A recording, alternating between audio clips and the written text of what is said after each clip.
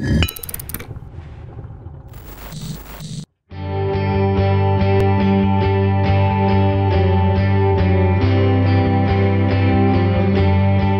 אנחנו מתכוונים כשאנחנו אומרים ארץ לכולם כתנועה שלנו ושתי מדינות מולדת אחת כמודל שאנחנו מציעים? אני רוצה להגיד שהתומכים של התנועה והפעילים שלה באים שתומכים בעקרונות וברוח שהיא מביאה ממש לא מסכימים על כל תג ואות. זה לא העניין. אנחנו באים ממקומות שונים ומחזיקים בתפיסות עולם שונות גם באופן כללי וגם ביחס לסכסוך.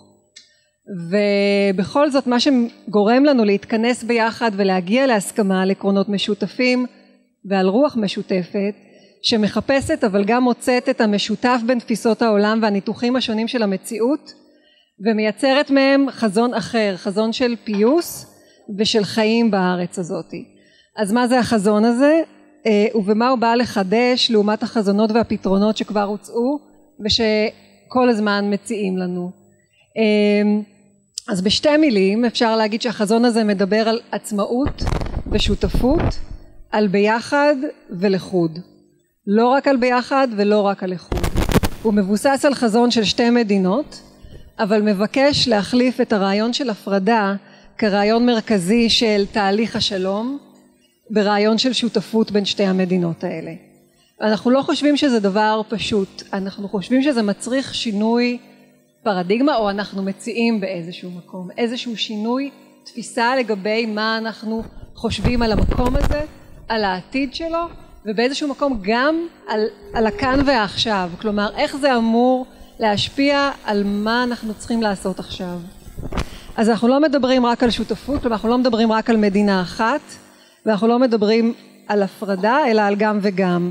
מצד אחד אנחנו מאמינים ומשוכנעים שלכל אחד משני העמים שחיים במרחב הארץ הזאת יש צורך ממשי לממש את ההגדרה העצמית שלו במדינה משלו אבל באותו הזמן אנחנו מכירים בחיבור של שני העמים לכל המרחב מה ששני העמים רואים בו כמולדת שלהם. חזון שמכיר במציאות של, במציאות החיים המעורבבת של כולנו בכל רחבי הארץ ואנחנו מאמינים שרעיון ההפרדה בין העמים להבדיל מרעיון של חלוקה לשתי מדינות שעמד ובמידה רבה עדיין עומד בבסיס המחשבה המדינית של תהליך השלום הישראלי פלסטיני מרחיק הסדר במקום לקרב אותו. ואנחנו חושבים שזה לא רק שזה מרחיק הסדר אלא להבנתנו הוא מקשה על בנייתם של מהלכים הכרחיים כדי לקדם את השלום. אז בעקרונות אנחנו מדברים על שני עמים על, על ארץ אחת ששניהם רואים בה מולדת ועל כך ששני העמים האלה זקוקים להגדרה עצמית נפרדת. הגדרה עצמית לאומית ומדינה ריבונית. על כך שאת היחסים בין העמים האלה שהיום מבוססים על עליונות של צד אחד השולט על עם אחר יש להחליף ביחסים של שוויון ושותפות שותפות בין שווים לצורך כך נדרשת הכרה הדדית. הכרה לא רק בעובדת הקיום של אנשים אחרים בארץ הזו אלא בכך שהם מהווים חלק מעם אחר ושהעם הזה זכאי לאותן הזכויות והחירויות. ולאותו הכבוד כמו העם שאני משתייכת אליו זכאי לו. אז על פי העקרונות שגיבשנו בין הירדן לים יקומו שתי מדינות, מדינה אחת כבר קיימת וצריכה לקום מדינה נוספת, פלסטין, בהתאם לגבולות אה, הרביעי ביוני 67. שתי המדינות יהיו ריבוניות לחלוטין, דמוקרטיות ומבוססות על שלטון החוק וישמרו על הזהות הלאומית שלהן ישראל כמדינה בעלת רוב יהודי, פלסטין כמדינה בעלת רוב פלסטיני. אבל שתי המדינות האלה יהיו חלק מישות על-לאומית משותפת איחוד ישראלי פלסטיני, קונפדרציה ישראלית פלסטינית הכרחית הדבר הזה הנוסף הזה ולא סתם אנחנו חושבים שהוא חשוב וצריך לדבר עליו כי המוסדות המשותפים האלה של האיחוד של הקונפדרציה הם אלה שיאפשרו את התנאים ההכרחיים בכדי להבטיח שהגבולות בין המדינות יהיו פתוחים ושאנשים יוכלו לנוע ברחבי המרחב המשותף הזה ובסופו של דבר גם להתגורר היכן שיחפצו בו. על פי הרעיון הזה אזרחים ישראלים כולל אלה החיים היום בגדה המערבית יוכלו לנוע ולהתגורר בפלסטין תחת ריבונות פלסטינית. אזרחי פלסטין כולל פליטים שיחזרו אה, ויקבלו את האזרחות הפלסטינית יוכלו לנוע ולהתגורר בישראל תחת ריבונות ישראלית.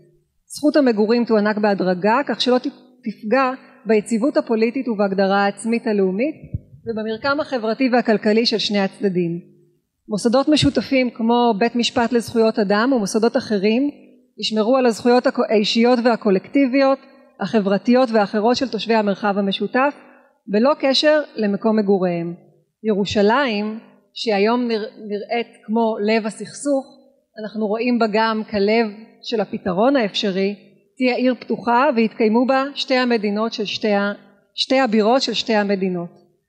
לאף אחד משני העמים שמצויים בסכסוך מתמשך, מתמשך זה לא קל. זה לא קל אבל זה אפשרי. אני לא יכולה להוכיח את זה שזה אפשרי כי שאלת האפשריות תלויה בנו. בכל אחת ואחד מאיתנו, בכל אחד ואחת ואחד נוספים מאיתנו שאומרים כן החזון הזה מוצא חן בעינינו. זוהי הארץ שהייתי רוצה לחיות בה. זהו חזון שאני מוכנה לפעול למענו ולקדם אותו. אז uh, הערב הזה נועד לעשות עוד צעד בכיוון הזה. להבין למה החזון הזה של שותפות בין שווים, שותפות שמכבדת את השונות ואת הצורך בעצמאות, הוא מתאים וחשוב, ואיזה אפשרויות חדשות הוא פותח בכדי לקדם כאן חיים של שלום ושוויון, ובכלל זה עם עזה. אני רוצה ממש אה, לנסות להכניס אתכם שוב בצורה הכי מצומצמת אה, שאפשר למקום של אה, חלק, כמובן, אני לא מייצג את כולם, לא, לא מתיימר, אבל חלק מה... מהתושבים. קודם כל, יש פה איזשהו דיסוננס, כלומר מצד אחד אמרתי וואו, זה, זה נפלא, זה יופי שיושבים אנשים וזה יפה גם לראות ש... התגייסתם באמת בזמן קצר וכמו שמרון אמר לפני כן אנחנו לא, אם מרון לא מכיר כמעט את כל מי שנמצא בחדר אז כנראה שבאמת אה, אה, קורה פה משהו מעניין. אמ, אז זה נפלא, ולעשות את השיחה הזו על עזה זה מאוד נחוץ. כלומר, יש איזו שתיקה מאוד גדולה, שגם האנשים בעוטף עזה, שזה כמובן אה, מלווה אותם ביום יום, מהריח והשריפות והצבע האדום בלילות וכולי, אז גם האנשים האלה מסתובבים עם איזה בטן ו- וגרון מושתק.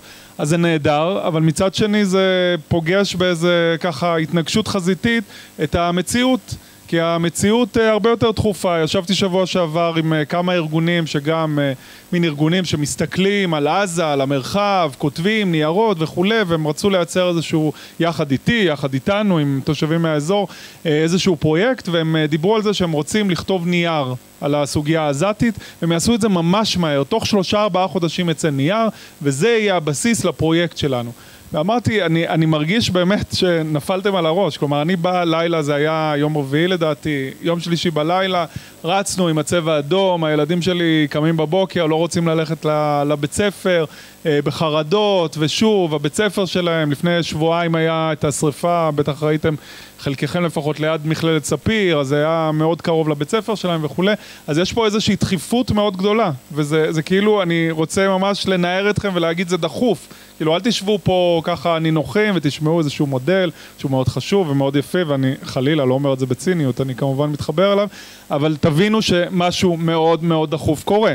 מצד שני, כן, אנחנו צריכים להסתכל בפרספקטיבה וצריכים לא לאבד את, ה, את הראייה הרחבה וכמובן את ההקשרים הרחבים שהם גם כמובן אגדה ועזה קשורים ואני מניח שידובר על זה יותר מאוחר אבל גם הקשר המזרח תיכוני הרחב ואולי אפילו הגלובלי יותר אה, כאשר אנחנו מדברים על אירופה הברית והרבה מאוד שחקנים שבסופו של דבר הצבע האדום הזה והלילה הקשה שעוברים הילדים שלי אה, כל שבוע בזמן האחרון וחודשיים וחצי כזה של בין אה, מלחמה לרגיעה אז הדברים האלה מחלחלים וקשורים. אז זה, זה דבר אחד.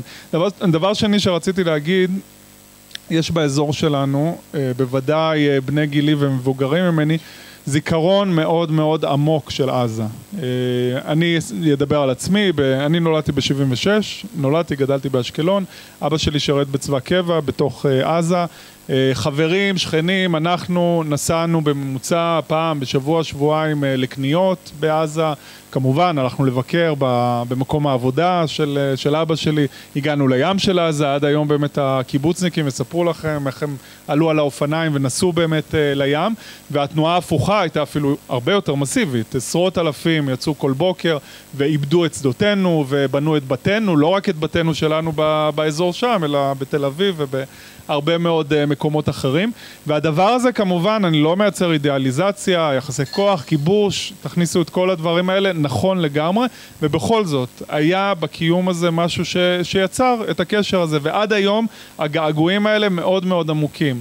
אה, בזכות אה, ככה היוזמה של מרון יצא לי לכתוב בשבוע שעבר בוויינט והוא הזכיר לי את הקשר של חיים מוליאל, אני לא יודע אם אתם מכירים, להקת שפתיים משדרות, אחד הסמלים של אה, להקת שדרות, אז לאבא שלו היה בית קפה, הבית קפה היחידי שהיה בשדרות, שנות ה-50, 60, 70 ושם באמת זה היה כזה מעוז של תרבות ערבית. והיו מגיעים אנשים מעזה לבלות או אחרי עמל יומם בישראל לשבת, לשתות קפה ולשמוע מוזיקה ערבית ושם גם התפתחה או התעצמה או, או הדהדה המוזיקה שבסופו של דבר יצא לאור בשפתיים. כלומר יש פה משהו מאוד עמוק באזור הזה שחי את הדבר הזה. אז אני אומר עד 87 זה בוודאי היה מובהק עד, עד האינתיפאדה הראשונה אבל בהרבה מובנים עד 2006 בוודאי כאשר אנחנו מדברים על עבודה. לפני חצי שנה זכיתי לחבר הרבה מאוד חקלאים באזור שלנו יחד עם ראשי מועצות ועוד אנשים בולטים. בתביעה אחת פשוטה החקלאים אמרו אנחנו רוצים שהעזתים ייכנסו ויעבדו בשדות שלנו. עכשיו זה היה חקלאים ממגוון תפיסות פוליטיות או לפעמים אדישות פוליטית אבל הם אמרו אנחנו באופן אמיתי צריכים את האנשים האלה.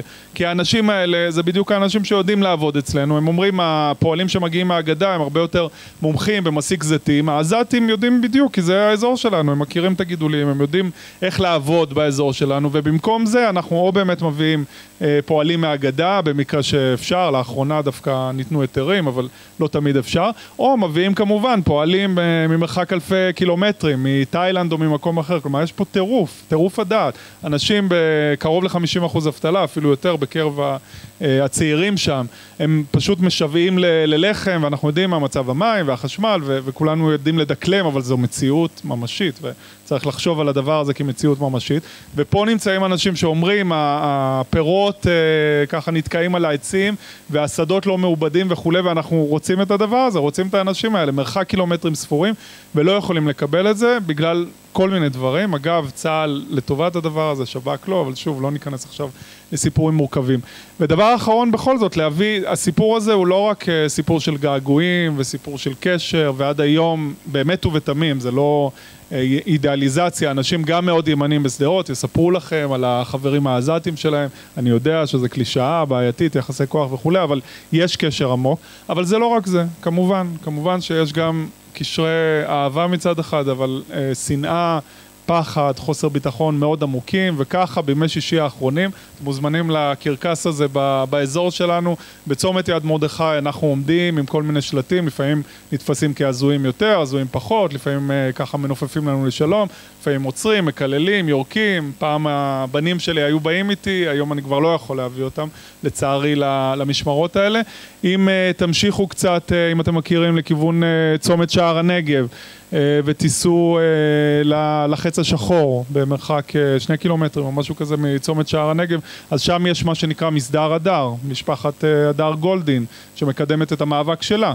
ומצד אחד הוא מאבק שנוגע באותם מקומות שאנחנו גם אומרים הממשלה מפקירה, הממשלה אין לה אסטרטגיה, הממשלה אין לה מדיניות. מצד שני מה הם אומרים? הם אומרים הומניטרי תמורת הומניטרי.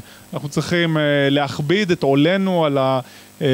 על השבויים, על האסירים הביטחוניים ועל עזה כדי שבסופו של דבר נקבל את הגופות ונקבל את האזרחים הישראלים.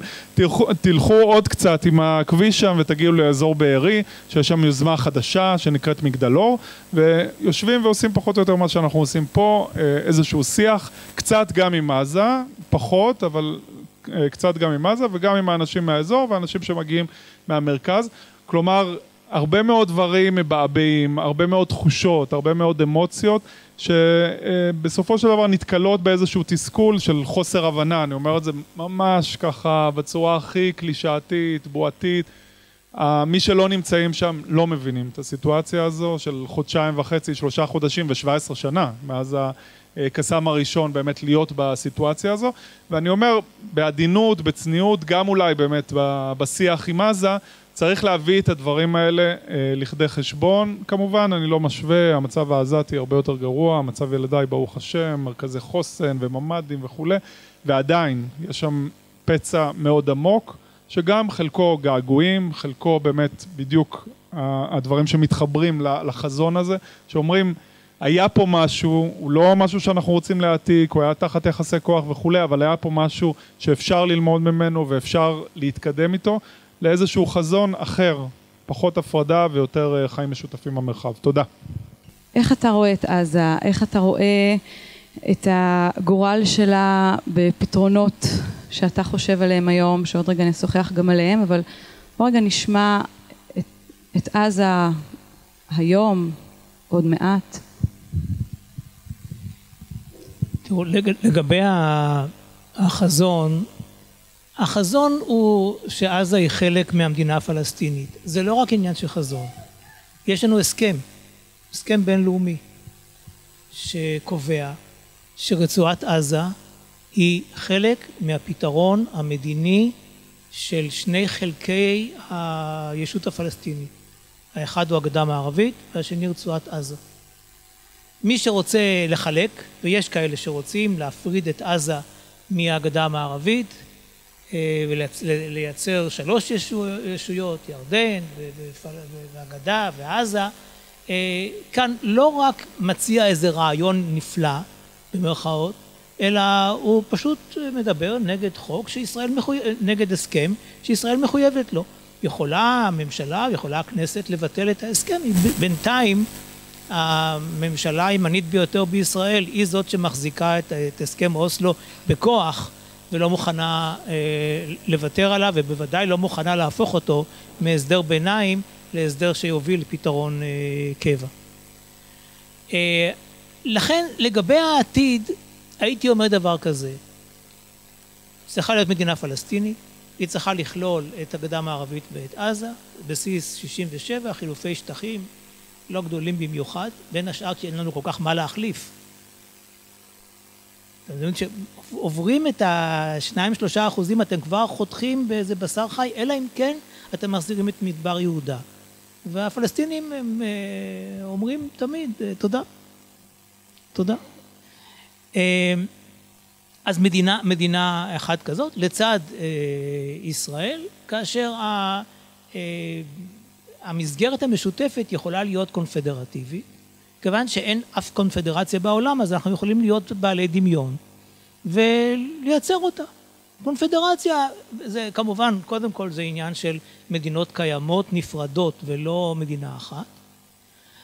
לגבי היחסים ביניהם, גם מה ששמעתי עכשיו, אנחנו יכולים לדבר על, על נגיד הדרגתיות, שאתה יכול אולי בשלב מסוים להגיע ליותר אינטימיות ובהתחלה אתה שומר על, על, על הקו שהמעבר יהיה פחות, אה, פחות גמיש ויש כאן, יכולים כאן להיות באמת מהלכים שונים. אני אומר לכם בסוגריים, אנחנו מדברים על שתי מדינות דמוקרטיות. למה? בין השאר, כי זה גם אה, הצעת החלוקה 181 מ-47. אפילו אמרו לנו שעד עשרה באוקטובר צריך שתהיה חוקה. אנחנו עוד חייבים את זה. עכשיו, נו, ואם היא לא תהיה כל כך? דמוקרטית, אנחנו רואים סימנים פחות טובים לגבי דמוקרטיה של הצד השני. וגם שלנו, אבל בכל זאת, אה, מוטטיס מוטנדיס, זה לא... אה, ו, ואז השאלה, מה קורה כש, כשהצד השני הוא, הוא, הוא מאוד לא דמוקרטי? אז, גם, אז כאן אתה צריך ל, לאפשר לעצמך איזה מרחב תמרון לגבי העתיד של הגדרה גמישה של הקונפדרציה וגם הדרגתיות שלה. אה, אבל כעיקרון עזה תהיה אמורה להיות חלק מאותה מדינה פלסטינאית. לדעת רובנו אני מניח בעולם הזה במסגרת קונפדרטיבית כאשר בעזה תהיה כתובת שתהיה מוכנה לזה. זה לא המצב היום. ולכן מה שצריך לעשות זה לנסות להגיע להסדר עם הפרטנר הפלסטיני שכאן רוצה להגיע איתנו להסדר ומציירים אותו כאין פרטנר כל הזמן, משום שאם יש פרטנר אז צריכים לדבר אותו, איתו, אם צריכים לדבר איתו אז אולי גם להגיע איתו להסכם, אז עדיף לא לדבר איתו ולהגיד שהוא לא פרטנר. אבל אם הפרטנר שכן מוכן לדבר איתנו וכן להגיע להסכם, צריך להגיע, ל, ל, אם אפשר, להסגר, להסדר הקונפדרטיבי הזה ולממש אותו בגדה המערבית כשלב ראשון, עד שהצד הפלסטיני שחי בעזה יגיד, גם אני מוכן, או גם אני מעוניין להצטרף לקונפדרציה הזאת, זה נראה לי דווקא דבר מאוד כיפי, או, או מין דבר כזה. אה, ו, ובינתיים, השאלה היא, אז מה אתה עושה מחר? יש לך איזה פתרון למחר? הפתרון למחר הוא, אה, וכאן יכול להיות שבגלל שאני לא יודע, אני, אה, אני לא יכול להתייחס לזה, אבל אני, אני שומע שמועות על שיחות שמתקיימות, כולל ידיעה שפורסמה היום על ידי הקטרים, שישנן שיחות בין גורמים ישראלים פורמליים לבין החמאס, אה, שאיתו אנחנו לא מדברים, אבל כן. לגבי ההסדר הנוכחי, מה זה ההסדר הנוכחי? הם מדברים על הודנה. ההתלהבות שלי מהודנה היא מוגבלת, אני מוכרח לומר. אני רוצה להגיע להסדר שלום ולא לאיזה הודנה. אבל בין אה, הודנה לבין אה, המשך המצב הקיים, או אפילו החרפה שלו, אני מעדיף הודנה. ולכן, אם אפשר היה להגיע לאיזושהי שביתת נשק לחמש עד עשר שנים, עם החמאס, שהוא הגורם היותר דומיננטי ברצועת אה, עזה, אה, תמורת אה, אה, דרישות שאינני מספיק מכיר אותן, אבל שהן לא בלתי סבירות, אני הייתי עושה מאמץ גדול ללכת על זה, ולא באמת להציב כאן איזה שהן אה, תביעות בלתי, בלתי סבירות, ובטח לא לעשות את הדבר הזה שהומניטרי מול הומניטרי, וזה, זה לא הומני לעשות דברים כאלה. אנחנו צריכים לסייע להם, וכמו שאנחנו, אני רואה שהממשלה פועלת ב, ב, ברמת הגולן, אה, גם בעזה, אין, אין, אין שום ברירה ולא להציב תנאים כאלה, אפשר לדרוש, אפשר לתבוע, אבל לא להציב את זה כתנאי מוקדם לסיוע לאנשים שהם נאנקים אה, תחת אה, עוני ותחת סבל ותחת מחסור במים וחשמל ובדברים אחרים. אה, לא רק בגלל שזה יתפרץ עלינו, וזה כבר מתפרץ עלינו, אלא כי גם זה לא אנושי כל כך. תראו, מה שמניע אותי, קודם כל, זה להבטיח את ישראל כמדינה יהודית ודמוקרטית. זאת אומרת שאנחנו לא יכולים להיות מיעוט יהודי ששולט ברוב ערבי. זה המניע הראשון שלי. המניע השני, שהוא לא רחוק בעדיפותו, אבל הוא, אני מודה, הוא השני. זה הנושא של שכנות טובה, של, של, של הגישה ההומניטרית, הגישה של זכויות האדם, ההגדרה העצמית וכולי וכולי. כיוון ש, שזה הדבר, שאלה שני הדברים העיקריים מבחינתי.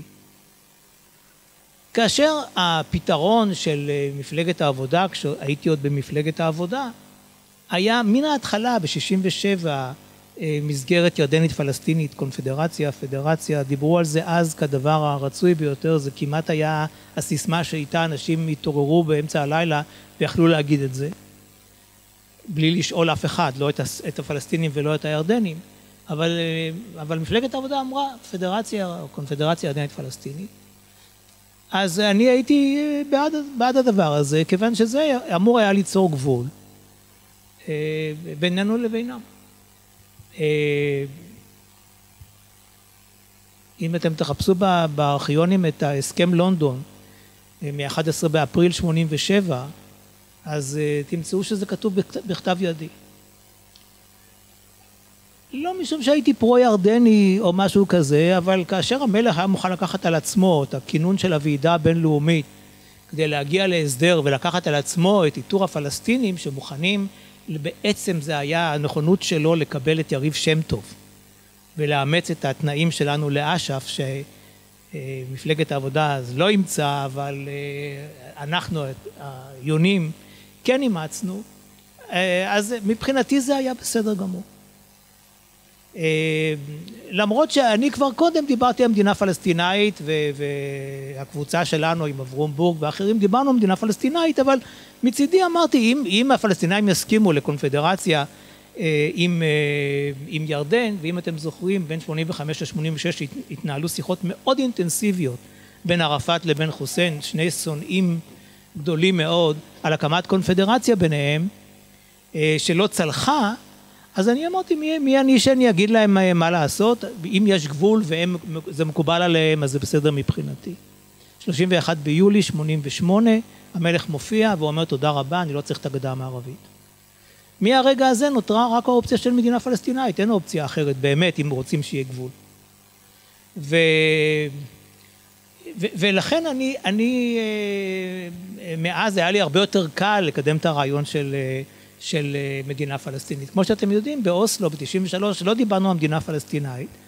היו רבים מאיתנו שזה היה הפתרון בעיניהם, אבל לא כתוב בהסכם אוסלו, זאת אומרת דיברנו, אבל לא כתוב בהסכם אוסלו שום דבר על מדינה פלסטינאית, כן כתוב על גבולות. ואז השאלה היא גבולות בין מי למי, אם אנחנו מדברים עם אש"ף, אבל המילה עצמה לא, לא, לא כתובה, בין השאר כי הם אמרו לא מידכם אנחנו, אנחנו נקבל את המדינה הפלסטינאית. המדינה הפלסטינאית זאת הזכות שלנו, שאין עליה מחלוקת, ואנחנו לא צריכים שזה אפילו יהיה כתוב. אה, כאשר נשאלה השאלה איך אנחנו עובדים מול הציבור בנושא של אוסלו ובנושא של המדינה הפלסטינאית, התגבשה התפיסה שכיוון שאין דבר יותר קל מאשר לשנוא, אז אם אנחנו נאמר להם, תראו, מה אתם, מה אתם רוצים? אתם רוצים לקום בבוקר ולא לראות את הפלסטינאים יותר? אני עכשיו מגזים. אז נקים לכם איזושהי חומה, או, או לא, לא דובר אז על חומה, אלא איזושהי הפרדה בינם, בינינו לבינם. וה, והסיסמה הזאת, אנחנו, ש, אנחנו כאן והם שם, נדמה היה, ואולי גם לא, לא לגמרי בלי צדק, שזאת הסיסמה ש...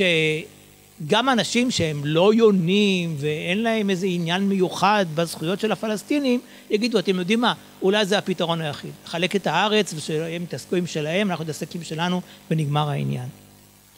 וכאן השינוי, נאמר, שחל בי. מה השינוי? אני מוכרח להודות שכיוון שראיתי ש... שהצלחתי לשכנע אנשים שקודם חשבו אחרת, ללכת איתי על הקונספציה, או לא יודע קונספציה, על הרעיון הזה שנדבר עם אש"ף ושנגיע איתו להסכם. ו- ואנשים שקראו לי אש"פיסט או דברים כאלה קודם פתאום אה, התחבקו עם, עם ערפאת. יכול מאוד להיות שזה במידה מסוימת מנע ממני לצאת עם ליבי ולהגיד חברים יקרים זה לא אנחנו השמאל לא, לא הולך על הפרדות בתור אידיאולוגיה, אנחנו כאן והם שם. כמובן שאם יהיו שתי מדינות ויהיה ביניהם גבול, אז אנחנו נהיה כאן והם יהיו, יהיו שם, אבל זה לא אומר שאף אחד לא יעבור את, ה, את הגבול הזה, להפך. אם יהיה שלום, אז הוא יעבור, כמו שאנחנו עוברים לירדן ולמצרים. אני לא יצאתי נגד זה. לא יכול אפילו לנתח את עצמי היה רגע מסוים, איך הרגשתי באותו רגע, אבל אני יכול להודות שכשלא לא עמדתי ב, אה, אה, ברחוב ואמרתי הרף, זה לא, זה לא אנחנו. כי אני הייתי, נסחפתי במשא ומתן, בשיחות, בפרטים, בכל מיני דברים אחרים, ולא בדבר הזה ש, שבדיעבד אני חושב אנחנו, כלומר מחנה השלום, תרם את תרומתו להאדרת העוינות. יכול להיות שלא היה צריך הרבה לא, להאדיר אותה, אבל הוא תרם את התרומה שלו. להגיד זה, זה אנשים אחרים, זה, זה, לא, זה לא אנשים שאנחנו צריכים להיות חברים שלהם. כמו שסבתא שלי הייתה אומרת, יוסי זה לא חברים בשבילך. אה, יש, אנחנו כאן והם שם, הכל בסדר. ואז קרו שני דברים. אה, א', אני, אני, אני רואה את, את, את השנאה ואת העוינות, בעיקר אחרי האינתיפאדה השנייה. ומצד אחד, ואני אומר, אולי גם לנו יש חלק בזה. מצד שני, ישנו הנושא של ההתנחלויות. עכשיו, מה בעצם המתנחלים רוצים? הם רוצים למנוע את חלוקת הארץ. איך אני יודע? כי הם אומרים את זה. הם שמים התנחלויות גם במקומות, ודווקא במקומות רחוקים, כדי שלא ירצו אה, לפרק אותם, והם רצו, הם רצו מספרים יותר גדולים, אבל גם המספרים שקיימים לצערנו הם, אה, הם גדולים דיים, והם הצליחו לייצר את, ה, את התחושה וגם את האמירה שזה אירוורסיבילי. הגענו למסה של התנחלויות שמונעת את האפשרות של חלוקת הארץ ושל מדינה פלסטינאית, ברוך השם. ואז אני אומר, רגע, רגע, רגע, בואו בואו אה, לא ניתן פה את הניצחון למי שלא מגיע לו. אנחנו יכולים בהחלט לייצר מצב שבו אה, ישראלים יחיו בהתנחלויות שלהם, אה, יהיו אזרחים ישראלים ותושבי קבע פלסטינים, ויתנהגו יפה, hopefully, ויכבדו את החוקים, את החוקים של המדינה הפלסטינית. ואז אני לא אומר להם, חבר'ה, תתנחלו תחת כל עץ רענן ועל כל גבעה גבוהה, כמו שאמר שרון, בהיותו שר חוץ, באופן הדיפלומטי שאפיין אותו. אלא אני אומר, תראו, אל תבהילו אותי. אל תבהילו אותי עם עוד יחידות דיור. אני מעדיף שזה לא יקרה, מעדיף שאף אבן אחת לא הייתה נבנית בגדה המערבית ובעזה. אבל אל תחשבו שאתם יכולים שם להקים עוד איזה התנחלות בלתי חוקית ועוד איזה דבר, לא בלתי חוקית אפילו לגבי החוקים שלנו, כן? אה, ובזה למנוע את ההסדר. מה פתאום? מבחינתי האופציה הזאת של שתי מדינות עם כזה גג של קונפדרציה, הלוואי שהיה מחר, אבל גם יכול להיות בעוד חמש שנים וגם בעוד עשר שנים. אז זה ששם יהיו יותר התנחלויות, זה אומר ששם יהיו יותר אה, אזרחים ישראלים שיחיו בגולה. אם זה מה שאתם רוצים, תהיו לי בריאים. איך אני יודע שזה מעשי? כי בהסכם שלי או בהסכמות שלי, זה לא הסכם כי הוא לא היה חתום, בניגוד לז'נבה שהוא כן חתום. בהסכמות שלי עם אבו מאזן, כתוצאה ממשא ומתן בין 93 ל-95, נאמר במפורש שכל היישובים ברצועת עזה יפונו, וכל היישובים, כל היישובים בגדה המערבית יישארו, היו פחות, יישארו, ואבו מאזן כתב, שם כתוב בכתב ידו נון אקסקלוסיב, יעני, שאם דירה מתפנה באיזה התנחלות ורוצה אזרח פלסטיני לגור שם, אז אף אחד לא יגיד, יגיד לו, חביבי, זה אקסקלוסיבי, רק לישראלים. וכיוון שההנחה היא שאם אנחנו נצא משם, אז חלק ניכר, אף אחד לא יודע כמה, אבל חלק ניכר מהמתנחלים יחזרו הביתה, אז יתפנו הרבה דירות, ואפשר אותם יהיה לתת לפלסטינים. זה היה אפשרי אז, ויותר מזה, אבו עלה הופיע אצלנו בוועידת מרץ בשנת 2007, אני חושב, ונאם בפנינו, לא יודע אם אתה זוכר, דן, והוא אמר מצידי, אם ישראלים ירצו לגור בהתנחלויות, תחת המדינה הפלסטינאית, אין לי עם זה שום בעיה. אני לא אומר שזה הקונסנזוס הפלסטיני, אבל לפחות אה, אבו מאזן, שהוא לא אחרון הפלסטינאים, ואבו עלה, שגם הוא לא אחרון הפלסטינאים, אבל הוא היה אז, כשהוא הופיע בפנינו, ראש הצוות של המשא ומתן. הוא אמר את זה. זאת אומרת, אני מניח שהדבר הזה סביר. לזה אפשר להוסיף את, ה, אה, את הראי, תמונת הראי הפלסטינית. זאת אומרת שפלסטינים יוכלו להיות אזרחי אה, פלסטין ותושבי קבע בישראל, פחות או יותר באותה, באותו היקף. לעתיד לבוא, האם אפשר יהיה שכולם יוכלו לגור איפה שהם רוצים? אני לא יודע, אני לא רוצה לשלול את זה, זה בטח לא במכה ראשונה. אבל כן במכה ראשונה אפשר להגיד, נניח אם, סתם אני אומר עכשיו, עשרת אלפים ישראלים יצאו לגור בגדה המערבית, תחת המדינה הפלסטינית,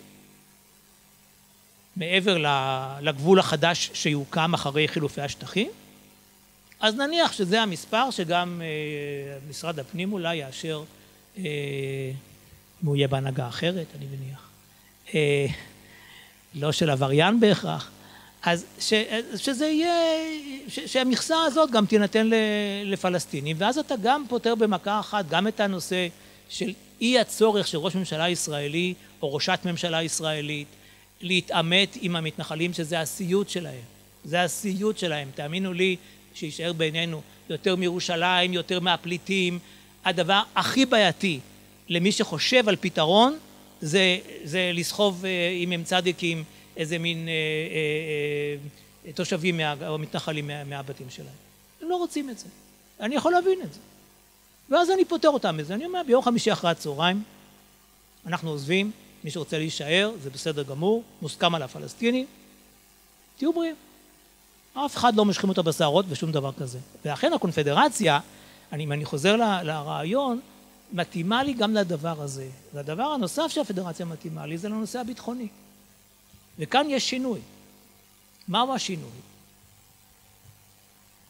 אנחנו דיברנו כל הזמן על פירוז של, אה, של המדינה הפלסטינית. זה היה אחד הדברים הבסיסיים. עכשיו, אני רוצה לומר לכם באופן עדין, שהרעיון הזה בא משם, בא מהם. אוקיי? הוא בא מהם. הם היו היזמים של הרעיון הזה. זה לא, זה לא היה מצב שבו אנחנו אמרנו להם, חבר'ה, אין טנקים, אין מטוסים, אין טילים, אמרו תיתנו טנק אחד או משהו שיהיה לנו מה... לא. הם באו אלינו. והם אמרו לנו שני דברים. דבר אחד מובן מאליו, אם נציע את כל הכסף שלנו על, ה, על, על נשק ועל צבא, לא יהיה לנו כסף לא למשרד הבריאות ולא למשרד החינוך. אבל הם אמרו עוד משהו. אם יהיה לנו צבא, במפגש הבא, אחרי שתקום המדינה ויהיה לנו צבא, אתם לא תשבו עם אנשים כמונו. אתם תשבו עם אנשים בחאקי. בחאקי. אמרו, תסתכלו על כל מדינות ערב. הם מוציאים על נשק את נשמתם, אבל תראו מי זה הנשיאים שלהם, ומי זה השרים שלהם. זה ברור לגמרי. זה לא פרופסורים באוניברסיטת ביירות, ואפילו לא באנג'אח.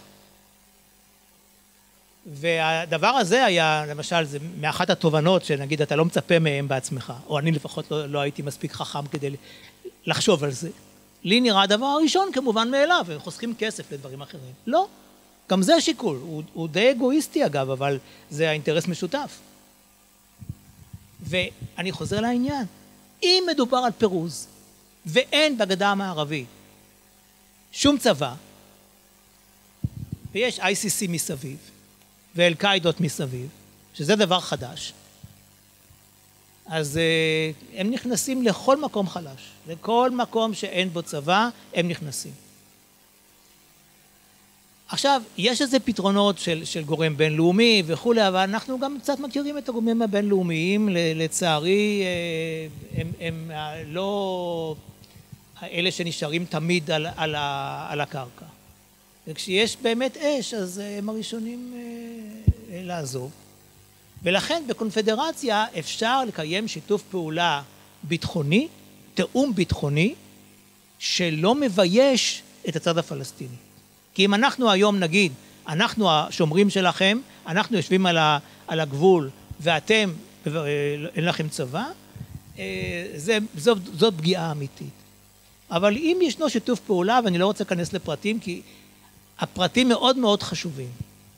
אני, אני רוצה לראות את הספר של הקונפדרציה, ואני קצת תורם לזה היום, אבל בגדול צריך איזשהו שיתוף פעולה ביטחוני שהקונפדרציה תיתן לו את ההכשר ושבלעדיו יהיה קשה מאוד לקיים מין דבר שאנחנו חושבים עליו אה, בהיבט הביטחוני.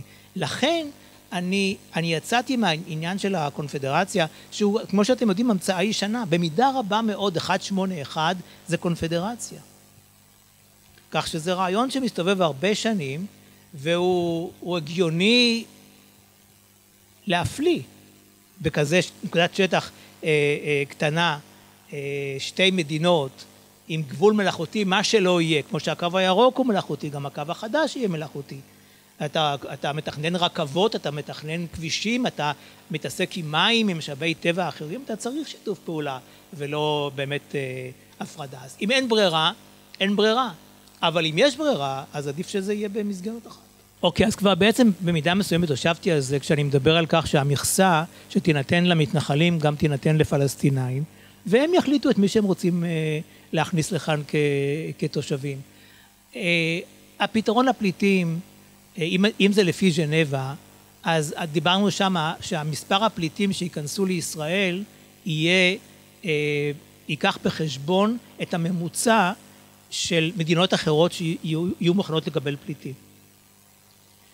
אה, זה מדובר על מספר סמלי, מדובר על כמה עשרות אלפים. זה לא פותר את הבעיה. הפתרון יהיה בנרטיב, הפתרון יהיה בכסף, בפיצויים, לפי משקי בית, ואנחנו הכנו נספח ארוך לגבי הדרך שבה אפשר להחזיר, לתת כסף, לתת פיצויים למשקי הבית של הפליטים. וה, והפתרון הוא באמירה כללית או בניסיון משותף או לייצר נרטיב אחד שלפי דעתי הוא לא בלתי אפשרי או להסתפק בשני נרטיבים, כאן זה להסתפק בשניים, שכל אחד מהם, מהם אה, הייתי אומר נקרא על ידי השני ולא מייצר בו תחושת בחילה. זאת אומרת, אתה אומר, אני לא מסכים לזה, אבל אתה יודע מה, זו דעתך, אתה לא מעליב אותי במה שאתה אומר. וגם את זה ניסינו, ו... ופעם אחת לפחות זה עבד ב-2001. אני הולך לשאול כל אחד שלוש שאלות, שיציג את עצמו, שאלה שנייה, שיתאר לנו את המצב מנקודת מבטו, ושאלה שלישית, איך הוא רואה את הפתרון לקונפליקט, ליחסי עזה-ישראל. אחמד מרחבה. مرحبا يا دكتور اهلا حبيبي يا كيف مساء الخير مساء النور مساء الخير احنا موجودين في تل- تل ابيب في هنا اكثر من 70 مقيم سلام اللي اليوم رافعين صوتهم من اجل حوار مع غزة وأنت أول متحاورين أنا مش راح أخذ وقت كثير راح اسالك ثلاث أسئلة. السؤال الأول إذا ممكن تعرف على نفسك؟ أنا أحمد أبو رتيمة شاب فلسطيني لاجئ من قضاء الرملة. آه، هجر أجدادي منها عام 1948 عمري 33 عام. ولدت في قطاع غزة. أحمد أبو رتيما فلسطيني بن 33 سباق המקור שלו מכפרים, מכפר ליד רמלה. תפדל أحمد آه، أنا آه، ناشط في مجال آه، حقوق الإنسان والمجتمع المدني وكاتب وصحفي.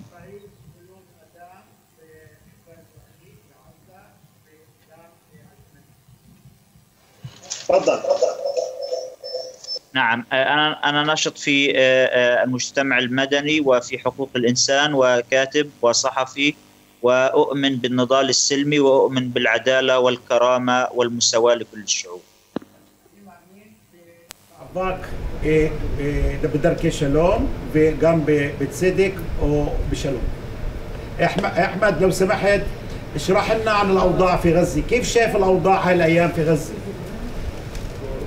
تو أخو أنت مش كله بعذر أحمد لو سمحت اشرح لنا عن الأوضاع بغزة من وجهة نظرك. كيف شايف الأمور بغزه؟ الأوضاع الإنسانية سيئة جدا. يعني نحن نعيش في سجن حقيقي ربما أسوأ من السجن. قطاع غزة هو شريط ضيق جدا. لا يصلح للحياة الآدمية باعتراف الأمم المتحدة.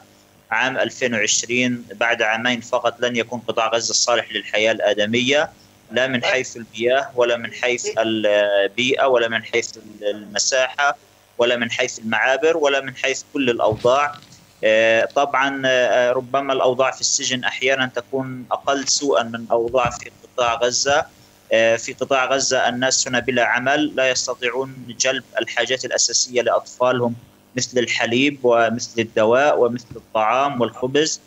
آه، أيضا آه، الناس هنا آه، يعيشون أوقات انقطاع كهرباء كبيرة. يعني تقطع الكهرباء هذه الأيام 16 ساعة متواصلة وتأتي أربع ساعات فقط. الأوضاع يعني هي غير صالحة للحياة الآدمية. شكرا أحمد. خليني بس أنا أترجم. إذا ممكن تحكي بجمل قليلة خلينا أستطيع أترجم الكل אה, אחמד אומר... הוא מרגיש שתושבי עזה חיים בבית סוהר, בית סוהר גדול, זו רצועה מאוד צרה, אפילו לפי אה, אמירות ודוחות של האו"ם ב-2020 אה, עזה, אם נמשך המצב הזה, אנשים לא יכולים להמשיך לחיות שם. במצב קטסטרופלי, הוא הזכיר את העניין הבריאותי, עניין המים וסביבתי. حشمال شي آه، منتاك آه، بين 20 بالشيش 10 شعصر 20 שעות بيوم. بحنات اوخل מצרכי יסוד, גם كان يش بعيا بكل رموت החיים الشام تفضل أحمد. أحمد تفضل. كل تكون شيء في هذا الموضوع؟ نعم أي موضوع لأن الصوت كان رايح. في غزة. بدك تضيف شيء إذا لا بدي أروح للسؤال الثاني. واللي هو المهم.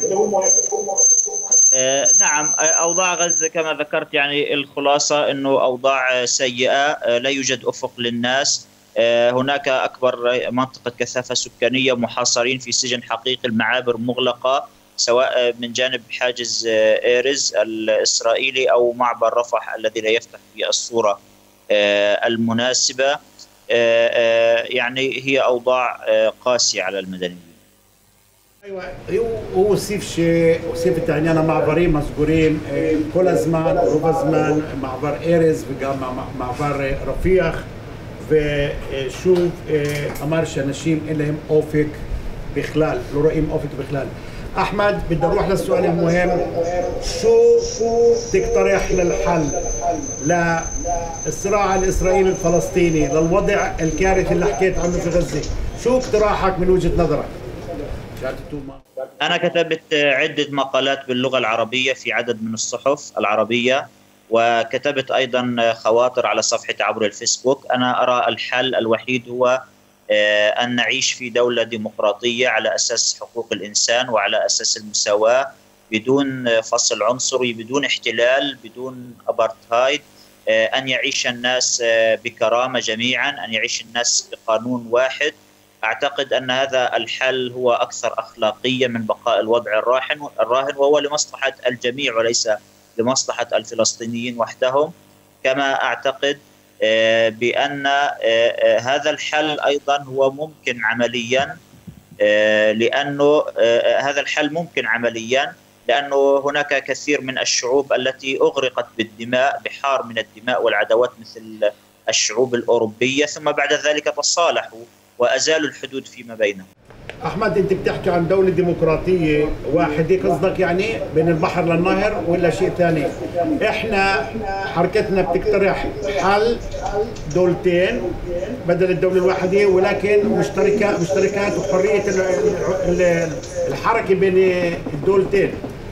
بدنا نسمع رأيك في هالقضية وكل شو بالضبط أنت قصدت في الدولة الديمقراطيه آه، أحمد أمار دقيقة بالله.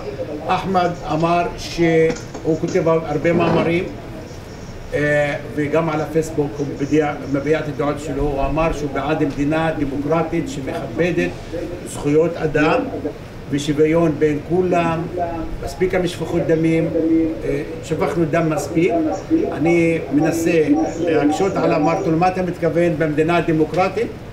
ואמרתי לו שאנחנו מציעים שתי מדינות ואני רוצה לשמוע שתי מדינות אה, בשיתוף, אינטגרציה חופש תנועה במקום אה, מדינה, מדינה אחת. עכשיו אני רוצה לשמוע את התשובה שלו. تفضل يا احمد انا بعتقد انه من البحر للنهر المكان ضيق لا يتسع للحواجز ونحن كما نرى يعني انه يعني الصوره الان يعني لو اخذنا الصوره الجويه نجد انه هناك دوله واحده فعليا وفيها بنتستانات فيها كانتونات يحبس فيها لذلك الحل اعتقد انه ازاله هذه الجدران جدران العزل العنصري وأن نعزز الثقة ونمنح الأمل للناس. وبعد 20 سنة مثلا من منح الأمل ومن الحل التدريجي يمكن أن نصل إلى صيغة من المساواة ومن الحل الديمقراطي ويعيش الجميع على أسس الديمقراطية. والمساواة هذا هو توجه العالم هذا هو توجه التاريخ. أنا أعتقد أنه هذا توجه التاريخ. الآن مثلا في أوروبا أزيلت كل الحدود. الآن العالم يتجه نحو التكتلات الكبرى وليس نحو التكتلات الصغيرة. يعني من حق يعني في النهاية كل قومية أن تحافظ على خصائصها القومية داخل هذه الدولة الواحدة. ولكن أن نتفق على أسس للتعايش المشترك الديمقراطية والمساواة والقانون الواحد على الجميع. شكرا احمد خليني بس اترجم احمد متسيع אומר שבין הים לירדן זה מקום מאוד צר ודה-פקטו יש בעצם מדינה אחת היום אה, עם כמה, פסט, אה, כמה פסט, פסטונת, פסט, פסטונים, פסטונים, אה, אומר צריך להסיר את כל, את כל הגבולות, כמובן הגדרות. לתת תקווה לאנשים, הוא אומר שזה תהליך, לא צריך לעשות הכל בבת אחת, צריך לבנות תקווה, אולי עוד עשרים שנה. זה פני ההיסטוריה, זה הכיוון. אה, והוא אומר שתסתכלו על מה שקורה באירופה, פשוט אחרי תקופה, אחרי כל מה שקרה, הם הסירו את הגבולות ביניהם וחיים ביחד. أحمد السؤال الأخير. السؤال الأخير. شو رسالتك للمجتمع الإسرائيلي بشكل عام؟ رسالتي للمجتمع الإسرائيلي أن الطريق إلى السلام السلام لهم ولنا هي عبر العدالة وعبر يعني إنهاء الاحتلال وإنهاء الاضطهاد العنصري. اليوم مشروع الاحتلال هو عبء استراتيجي على الشعب الإسرائيلي في المستقبل، لا يمكن للدول أن تظل إلى الأبد تعيش على أساس إقصاء الآخر وممارسة التمييز والاضطهاد ضد شعب آخر. في النهاية تجربة التاريخ تعلمنا درسا مهما وهو أن في النهاية تسقط أنظمة الفصل العنصري، نحن نريد الخير للشعب الإسرائيلي، لا مشكلة لدينا في التعايش مع الإسرائيليين بدون احتلال وبدون اضطهاد عنصري، نحن نريد أن نتعايش على أسس من المساواة وعلى أسس من الحرية لنا. يعني أنا أريد أنا أريد حق الإنساني قبل حق السياسي. أريد أن أخرج من غزة وأصل إلى حيفا وأصل إلى القدس ثم أعود إلى غزة. أريد أن أتنقل بحرية أن أشعر أني إنسان يعني. هذا الحق نحن آه، يعني يصادر منا الآن. لا يمكن لا يمكن أن يكون هناك استقرار في ظل حالة السجن الرهيب وحالة الحصار والقتل. يعني علينا أن نتذكر إنه في الثلاثة أشهر الماضية قتل 140 مدنيا فلسطينيا وأصيب 12 ألف مدني فلسطيني في مقابل صفر من القتلى من الجنود الإسرائيليين وصفر من الجرحى من الجنود الإسرائيليين، هذه مجزرة مروعة ارتكبها الجنود ضد المدنيين العزل، هذا الواقع ليس في مصلحة أحد ولا حتى في مصلحة الشعب الإسرائيلي، نحن نريد أن يكون هناك السلام، نحن مع السلام، نحن نحب السلام، نحب الحياة، ومن أجل السلام ومن أجل الحياة نريد أن أن يزال الاحتلال، أن ينتهي الاحتلال، وأن نتصالح مع هذه اللحظة التاريخية، نتصالح مع روح التاريخ بأن نعيش مثل كل البشر وكل الشعوب وأن نعزز أجواء الثقة بيننا وأن نعزز الأجواء السلمية بيننا.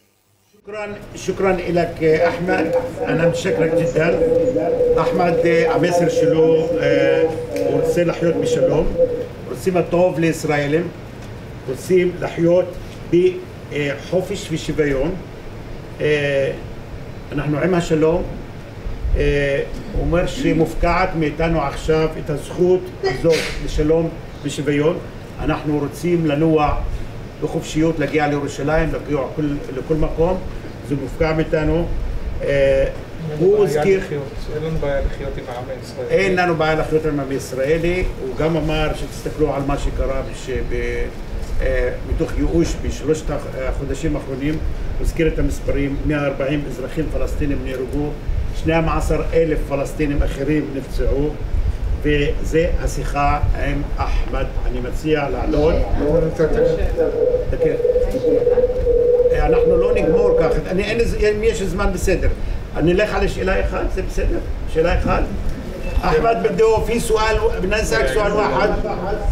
אוקיי, מומקן? כן? אוקיי, דקיקה, בבקשה. אמרת שהוא אחד מהמפגינים של ההפגנות. אז מה הוא ציפה מההפגנות בגבול? מה הוא, מה הוא רצה מזה? احمد في سؤال عن المسيرات الاخيره لما انتم فكرتوا فيها وخططتوا لها ومشت شو كان الهدف من هذه المسيرات اللي وصلت الحدود نعم احنا طبعا هناك حق العوده هذا حق العوده لا يختلف عليه اثنان من الفلسطينيين هذا حق قانوني وهو حق ممكن أيضا وهو حق لا يمثل تهديدا لإسرائيل أن يعود اللاجئون الفلسطينيون إلى قراهم ومدنهم ويعيشوا بسلام مع جيرانهم. هذا هدف يعني مقر في الأمم المتحدة وهو هدف مشروع ولم يتخ... ولا يتخيل أحد من الفلسطينيين أنه يمكن أن يتخيل خيال عنه. ونحن سنستمر في نضالنا السلمي من أجل تحقيق هذا الهدف وبعد أن نحقق هذا الهدف سنتعايش بسلام في دولة واحدة مع كل السكان ومع الإسرائيليين. هناك طبعا هدف آخر كان في جزء من هذا الحراك وهو فك الحصار اللا إنساني على قطاع غزة. هذان هدفان متكاملان أحدهما قصير المدى والآخر بعيد المدى. نحن نمارس نضالا سلميا نريد أن تسقط هذه الجدران نريد أن تتحقق العدالة على هذه الأرض المقدسة لأصحاب لأبناء الديانات السماوية هذه أرض مقدسة لنا جميعا وأرض مباركة لنا جميعا هذه أرض كان فيها أبونا إبراهيم وهو أبونا جميعا نحن نريد أن نعيش كلنا بسلام على هذه الأرض بدون إقصاء وبدون اضطهاد وبدون احتلال نريد أن نعيش على أسس شكرا لك احمد احمد אמר שיש שתי מטרות לתהלוכות האלה, טווח קצר וטווח ארוך. הטווח הקצר היא הסרת המצור. פשוט לשים את הזרקורים על, על המציאות של עזה ולהסיר את המצור מעל עזה. והמטרה, הטווח ארוך, לדבר על זכות השבות של הפלסטינים. אי אפשר לדבר על זה, אנחנו רוצים לחיות ביחד. זאת ארץ קודש לכולנו, לכל הדתות, וכן לחזור ולחיות בשלום. وبيرش زي لحظور حوكش حوكش لومي أيام آه على الإسرائيلي ومفتاح لفيا حوك باللوبي زي ما شاء الله. شكرا يا شكرا أحمد. يا أحمد. إلى اللقاء. إلى اللقاء.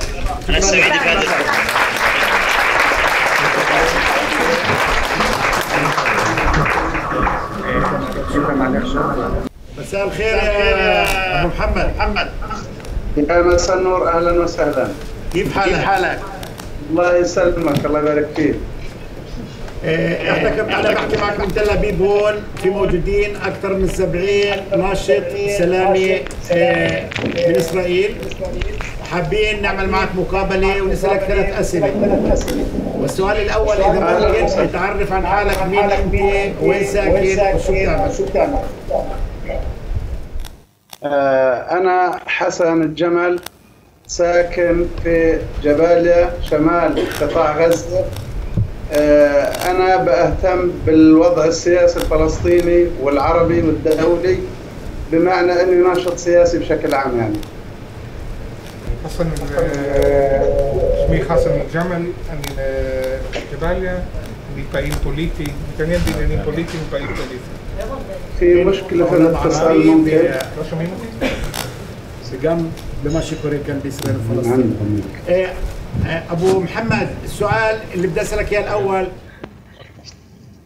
سؤالي الثاني حول الأوضاع في غزة كيف أنت شايف الأوضاع من وجهة نظرك في غزة؟ الأوضاع الأوضاع في غزة صعبة من الناحية الإنسانية والإجتماعية.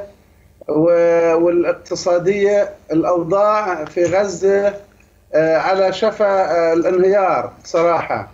نسبة الفقر تبلغ في قطاع غزة اليوم فوق آه، 82% تقريبا.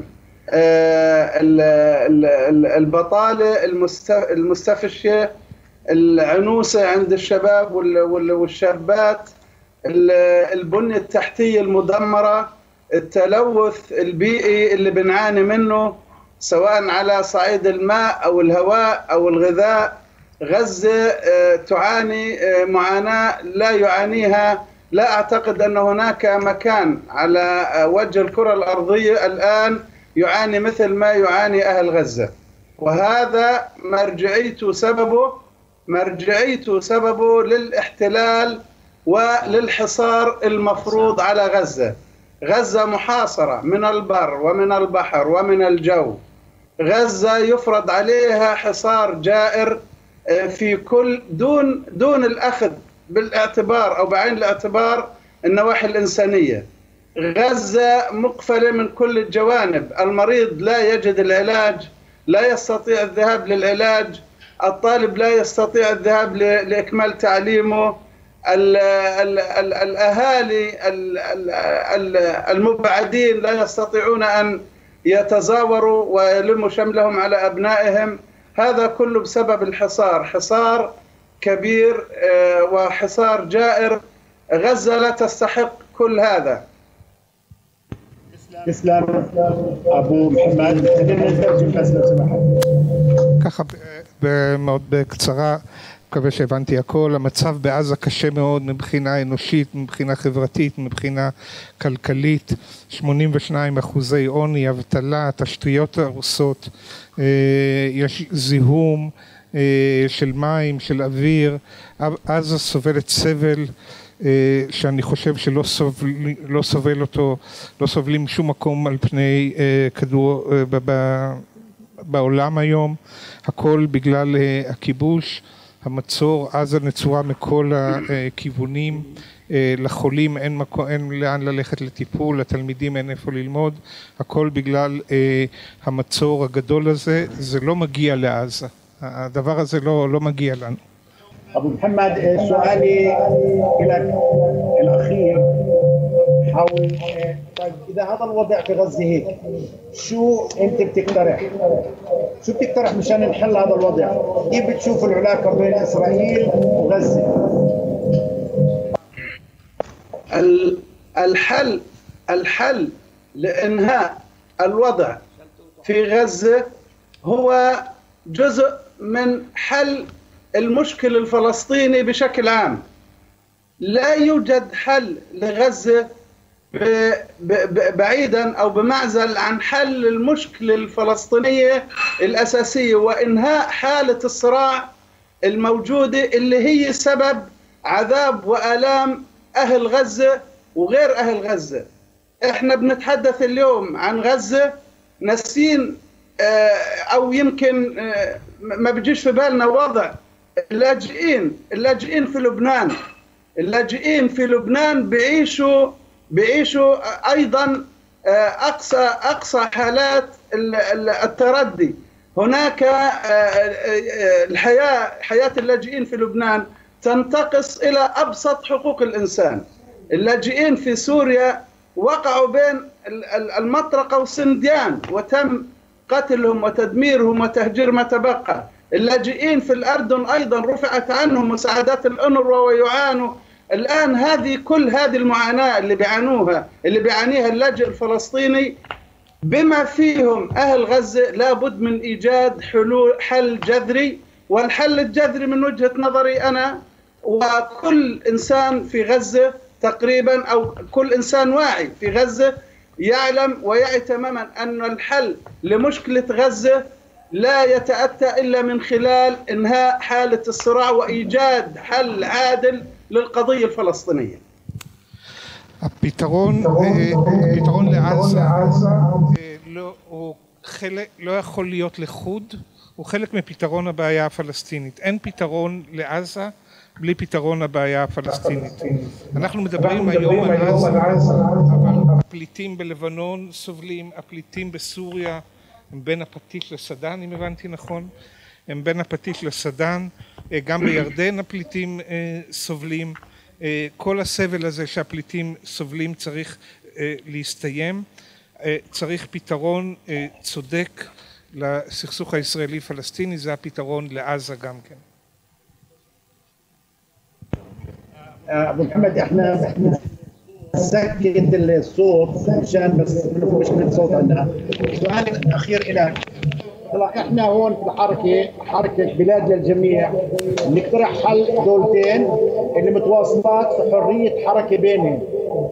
آه، وطبعا حل قضية اللاجئين وكل هذه الأمور. بنسمع شو وجهة نظرك بالنسبة للحل السياسي. هل بتشوف إنه في إمكانية؟ مش حل دولي هم هون وإحنا هناك إنما يعني مع بعض. إيه، نكون حركة بينهم زي الدول الاوروبيه شو رأيك في الحل؟ تعالوا إيه، تعالوا نقعد مع بعض وندرس كيفيه كيفية إنهاء حالة الصراع. إنهاء حالة الصراع بتتطلب أن يعترف كل إنسان منا بالآخر اولا ويعترف بحق الآخر في الحياة بحرية بكرامة بعدالة بمساواة. لا لا يمكن لا يمكن أن يكون هناك حلول جزئية أو مجتزأة وهذه الحلول آه، يجب أن يكون هناك حلول جذرية. يجب تعالوا نتفاهم على حل قضية اللاجئين. تعالوا نتفاهم على حل قضية العودة. تعالوا نبني دولة فلسطينية إلى جانب دولة إسرائيل وتكون القدس عاصمة م- مشتركة. إلنا حق في القدس مثل ما إلكم حق في القدس إلنا حق في القدس. كمان هذه الدولة هذه الدولة الفلسطينية إذا أنتم تعالوا ال ال ال ال ال ال ال الإمكانيات الإسرائيلية والعق... وال... والإمكانيات العربية نوظفها من أجل السلام ما نوظفها من أجل الحروب. هذه الدولة تكون هذه الدولة تكون منفتحة مفتوحة. أنا اليوم حابب أروح اثر في حيفا في يافا. مثل ما غزة غالي علي كمان حيفا ويافا غالي علي. أنا مثل ما غزة غالي علي القدس غالي علي. أنا مثل ما غزة غالي علي الجليل وجبال الجليل والكرمل وكل كل بقعة في فلسطين غالي علينا. إحنا حابين نعيش بحرية بكرامة بعدالة. حرية م- منطلقة. تعالوا نعيش مثل ما دول الاتحاد الأوروبي عايشين. دول الاتحاد الأوروبي ما فيش حدود بينهم ما فيش جواز سفر ما فيش ت... ليش ليش ما واحد إسرائيلي حابب يتعشى في رام الله وياكل فلافل في في طول كرم ويجي الطريق مفتوحه له يجي. أنا حابب أروح اثر في الساحة في, في, في الساعة في الساعة في يافا في ميدان الساعة. حابب أزور تل أبيب حابب أروح على المجدل. أصيف في بحر المجدل. ليش؟ ليش ما يكونش؟ وقتاش هذا الكلام بصير لما كل واحد فينا يعترف بالآخر ولما كل واحد فينا يعترف بحق الآخر في الحياة. حق الآخر إحنا قدرنا إن نعيش مع بعض على هذه الأرض. على هذه الأرض ما يستحق الحياة. إحنا بنستحق إن نعيش على هذه الأرض. وقدرنا إحنا وابناء عمنا أبناء إبراهيم أبونا كلنا إبراهيم قدرنا إن نوجد في المنطقة هذه. تعالوا نتفاهم ننبذ الحروب. بعدين أبو ثائر أبو ثائر العالم كله تطور. العالم اليوم بفكر كيف كيف يسخر كيف يسخر البيئة والطبيعة لخدمة الإنسان. تعالوا نحارب نحارب التصحر نحارب طبقة الأوزون. تعالوا نحارب التلوث البيئي. تعالوا نفكر كيف تعالوا نفكر كيف ننتج تعالوا نفكر كيف ننتج بقعة بقعة مثل فلسطين كيف. كيف تكفي لكل هالأجيال. كيف تكفل الأجيال؟ إن نسخر العلم ونسخر قوانا البشرية من أجل خدمة الإنسان ومن أجل توفير الحياة توفير الموارد خد استغلال الموارد الطبيعية واستغلال الموارد البشرية من أجل الحياة بسلام مش الحياة بصراعات وبعنف. الحل الحل كمان مرة بأكد ان نقعد مع بعض نحل مشكلة اللاجئين ونحل مشكلة القدس ونعترف كل منا يعترف بالآخر وتقام دولة فلسطينية آه، تؤمن بال- بالسلام تؤمن بال- بال- بالآخر وهذه الدولة موجودة ومتوفرة. إحنا كشعب فلسطيني كلنا أصبحنا نؤمن بأنه لابد من أن نحيا بسلام مع جيراننا الإسرائيليين. ولكن قبل قبل كل شيء لازم جيراننا الإسرائيليين يعترفوا ابنا ويعطونا حقوقنا. إحنا وجدنا على هذه الأرض من آلاف السنين. وهم بيقولوا إنهم انوجدوا على طيب تعالوا تعالوا نت- نتفق نحل مشكلة اللاجئين. تعالوا خذوا يعني آه، خذوا اللي لكم وأعطونا اللي لنا ونعيش بسلام وبحريه ونعيش بتع- بتآلف ما في. ما في حل غير هيك. الحل الجزئي. الحلول عرفات. بحاول. ما بتجيب فايدة. مصيرها ترجع تتفجر الأمور ونرجع للصراع ونرجع للعنف. أما حل بما يضمن حق اللاجئين حق العودة وبما يضمن حقنا في القدس وبما يضمن انفتاح الشعبين على بعض ويعيشوا بتآخي ويعيشوا ب- كما كما مرت مرت حقب عشنا مع بعض. رغم الفترة أبو محمد. نعم. اسمع. بدي بدي أنا بدي أنا بدي أنا أقول شغله عنك بالعبراني أبو محمد هو شو اسمه؟ شو يمشي كمان بتقول اليسار أنت زي اليسارية يا وطن بتحكي كثير زي اليساريين الإسرائيليين وبتعملش كثير. شكرا لك وإلى اللقاء. إلى اللقاء. إحنا إحنا بنحيي. معلش بالنهايه للترجم إحنا بنحيي قوى السلام الإسرائيلية بنحيي اليسار الإسرائيلي اللي بقف لجانبنا في كثير من في كثير من المحن وفي كثير من المواقف.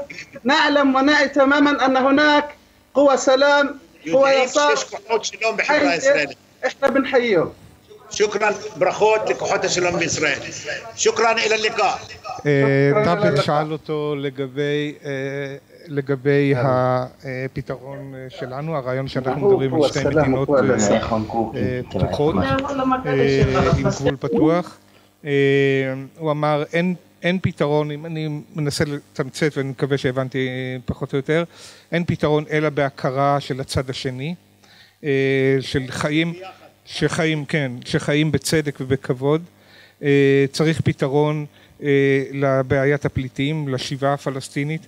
אנחנו מדברים על מדינה פלסטינית, ירושלים תהיה בירה משותפת, המדינה הפלסטינית תהיה פתוחה, אין לי שום בעיה, אנחנו רוצים לחיות כמו כל אה, העמים, אה, רוצים, אין לנו שום בעיה שישראלי יאכל פלאפל בטול כרם ואני אבקר בתל אביב ואני אבקר ב, ב, בירושלים ותהיה תנועה חופשית. אה, אנחנו יכולים, אה, הגורל שלנו, הגורל שלנו הוא לחיות ביחד, אנחנו בני אברהם, כולנו בני אברהם. אה, אה, הוא חזר פחות או יותר לדברים האלה, אבל שאנחנו אה, אה, אנחנו רוצים, לח... אה, רוצים לחיות ביחד. مرحبا دكتور مساء الخير مساء الخير يا كيفك؟ الله يخليك يا استاذ We, can we switch to English? Listen, focus. I think איך- No, no, let us stand lead. let us so, eh, صديق الدكتور eh, اول شيء بدنا تعرفنا حالك هو هو اري هو اريو روي أنا انجليزي عربي وعبراني وإنجليزي بدي بدك تعرف على حالك في الأول. مين أنت؟ آه، وفي الإنجليزي طبعا إذا أمكن. وشو بتعمل اليوم؟ وتحكي لنا عن قصتك الشخصية. تفضل.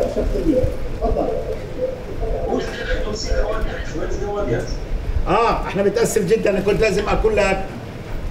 أنت قاعد هون في تل... إحنا قاعدين في تل أبيب. إحنا في تل ابيب مع أكثر من 70 ناشط سلمي آه اللي بهمهم الوضع من غزه وهاي الامسيه على يعني على شرف انه نحكي مع غزه وحول غزه But I, it, it's important that you are talking about Gaza. But I think which is important, as a medical doctor, as you know me, of course I am a Palestinian physician from the Gaza Strip who was born, raised, and lived in Jabalia refugee camp in the Gaza Strip. I got my MD from Cairo University, then I specialized in obstetrics and gynecology from the University of London and worked at the Soroka University Hospital because I believe that health is the human equalizer, stabilizer, socializer, and harmonizer. If you go to any hospital in Israel, in Canada, in any part of the world, we all treat all patients equally. If you go to Tal Hashumer, there are different kinds of patients. Palestinians, Muslims, Jewish, Christians, Bedouins, Druze, all of them are treated equally according to the disease. Why not to treat them equally outside the borders of the hospitals? So this is the first message I believed in and what health can do to help the people to equalize and to respect the people. So it's important. I did that and now I am a professor at the University of Toronto where I am and researching. But, but Gaza Strip, which is part of my life where I was born, raised, and lived, we are not talking. We can talk about Gaza Strip, but we need to talk about the general situation. Gaza Strip and the population and the people of the Gaza Strip are part of a nation called the Palestinian nation. So if you want to deal with the situation, we must deal in a comprehensive way. When I treat a patient, I don't treat patients and don't treat organs. I treat the whole patient and see the well-being of the patient. So we can't treat the Gaza situation away from the general Palestinian situation. It's important to start it's important to start with the Gaza Strip. I live in Gaza Strip and with all of the suffering and the situation in the Gaza Strip, I can't describe it in this way. It's a children without a childhood. It's women without desires.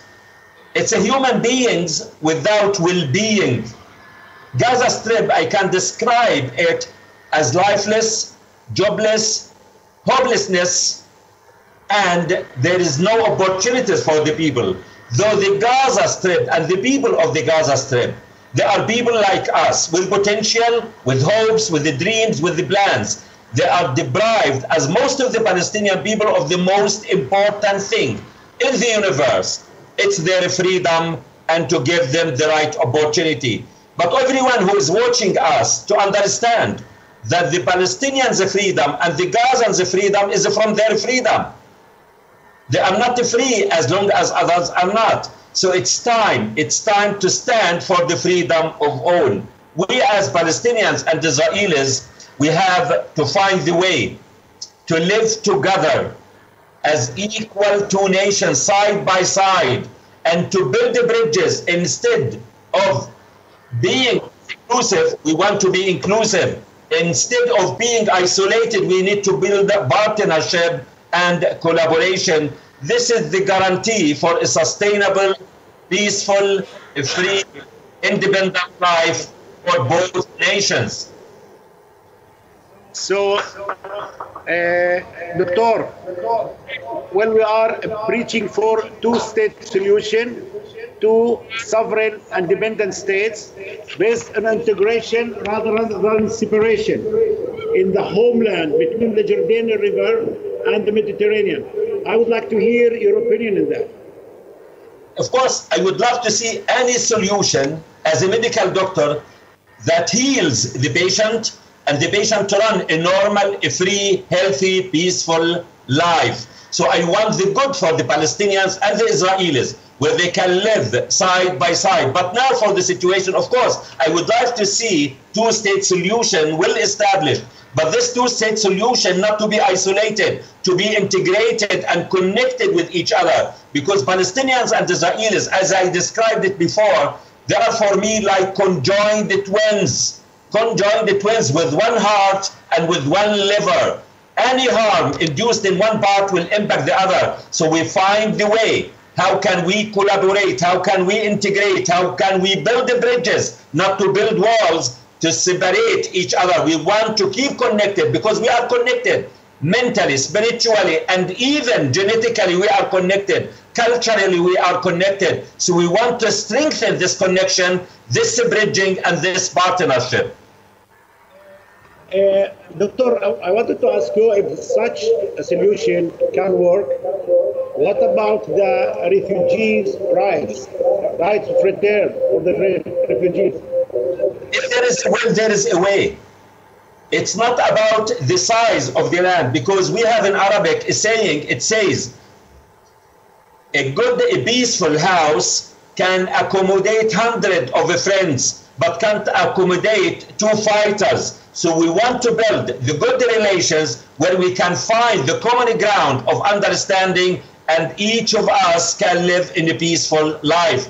We, no one can deny the right of the Palestinians' rights. We need, number one, to acknowledge this right and to take the moral, political responsibility and to negotiate it. And it's the right of the Palestinian people to decide what do they want. If they want to come back, it's up to them. If they want to get compensation or to be settled. So it's an individual right, but we need first to acknowledge it and to take responsibility about it, moral, political, and social responsibility from goodwill. And we can work together to find the way. اوكي آه خلينا ناخذ سؤال او اثنين من من المستمعين خليك معي دقيقه اوكي اني question or two Listen, I, wait, wait. I am, I am the man here. Okay? you are the man. You are the young man. I will go. Take it. אוקיי, אז בשיח הפלסטיני יש... אז הזרם המרכזי אני מניח, והוא נגד מה שאנחנו עושים פה, נגד מה שקוראים לו נורמליזציה, כן? מכיר בטח אה, את העניין. אה, אז מה אתה חושב על זה? על הקריאות נגד דדרים ישראלים, הם טוענים שזה פוגע במאמצים של ה-BDS וכולי, אה, אז מה, מה לגבי זה, לגבי נורמליזציה? You know, because this issue about normalization, we want to have a normal, normal life with Palest- between Palestinians and Israelis. But on what basis? It's important, you know, normalization, we can't normalize and to have a normalization of life between the patient and the disease. We want to get rid of the disease and we must acknowledge what is happening there as occupation to put an end, not the people to normalize with an occupier. We need the people, instead of talking about normalization, how can they help Palestinians to get rid of this occupation then then we can normalize between between each other where can be free where palestinians and israelis are free how can we normalize between someone who is oppressed and oppressor between someone who is in a prison and someone who is free someone who is hungry and someone who is satisfied someone who is thirsty and someone who is has the water. So it's important to understand that how can we ask a patient to be normal and to accept the disease? I am against that, of course, and against violence, but we need to understand and to acknowledge the main problem. It's the occupation, it's the main disease. So we want, instead of focusing on normalization and these issues, how can we work together and this, this disease? Okay. Is, which is occupation. اوكي السؤال الاخير بس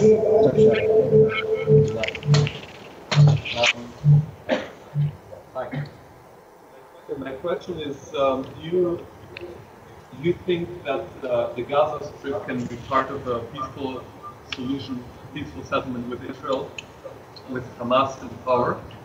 And um, do you believe? Do you? And are there any voices in the Palestinian society in the Gaza Strip that oppose Hamas and that uh, maybe uh, uh, think that Hamas bears part of the responsibility?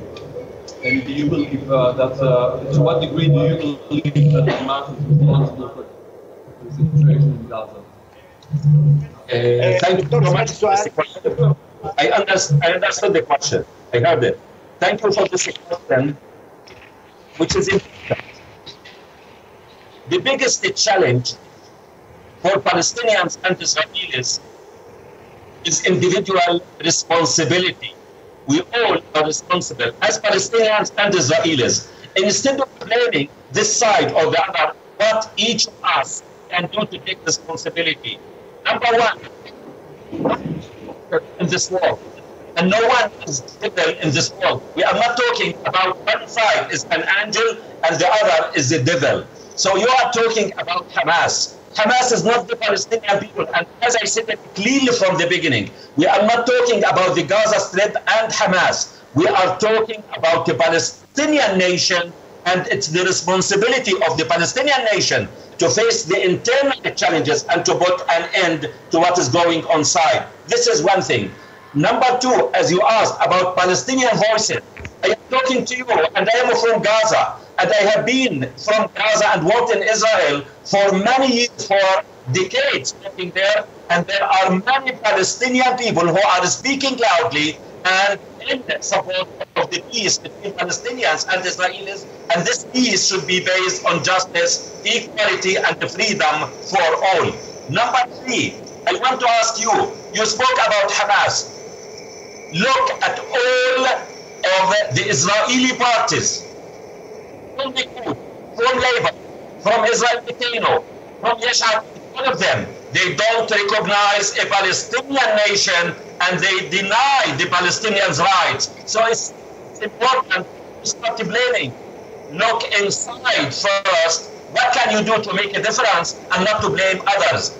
Hamas, where I am against violence from anyone, I am against military means because violence and military means will never put an end to this conflict between Palestinians and Israelis. It needs only courage, courage and to take responsibility and to admit and not to deny the main disease which is the occupation because Palestinians are occupied by the Israelis and the Israelis are occupied by their fears and by their ignorance and their narrative. It's time to free both nations to live side by side and to be equal.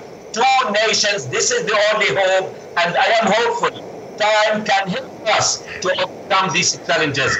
Instead of planning to speak about the fragments, if you speak about Hamas, I don't want to go on this way. To speak about Naftali Bennett, what is he doing? Lieberman, the settlements, all of these issues. So we don't want, how can we find the positive strength and energy among the good people to overcome these challenges? شكرا دكتور شكرا لك Hopefully, hopefully we will meet very soon here in Tel Aviv. You are coming from time to time to Israel.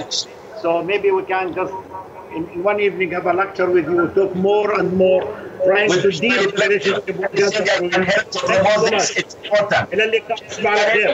the Thank you. Take care. שמי מירון רפופורט, אני מייסדי התנועה הזאת, שתי מדינות מולדת אחת ארץ לכולם. אני מאוד מאוד שמח שבאתם, אני מאוד שמח שזה יסתדר בסופו של דבר. השיחות עם עזה, אני חושב שזה היה חשוב מאוד ומרגש מאוד בשבילי, גם הנוכחות הגדולה פה. אנחנו חשבנו שחשוב לעשות אירוע על עזה, בעיקר בגלל שאני חושב שהחברה הישראלית נדמה לה שהיא סגרה את עזה, שמה גדר, שמה שער, זרקה את המפתח ובזה נפתרה הבעיה.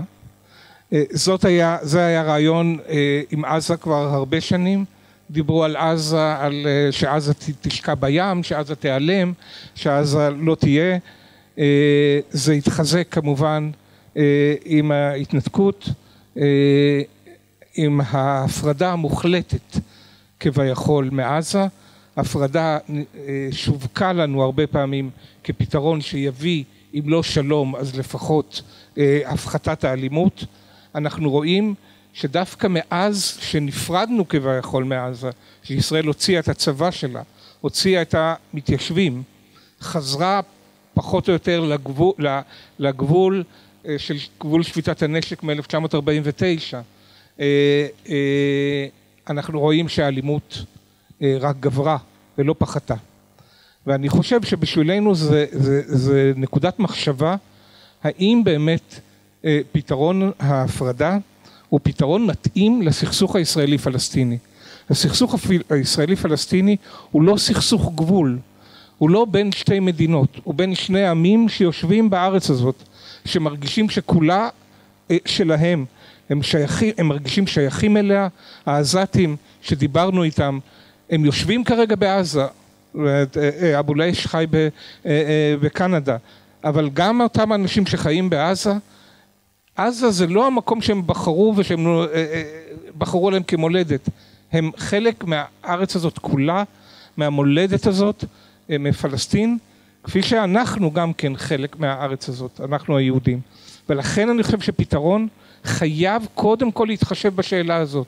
והוא חייב, ואני חושב, דברים מאוד יפים שיוסי ביילין אמר כאן, אני חושב שהמחשבה שאפשר ל, ל, ל, ל,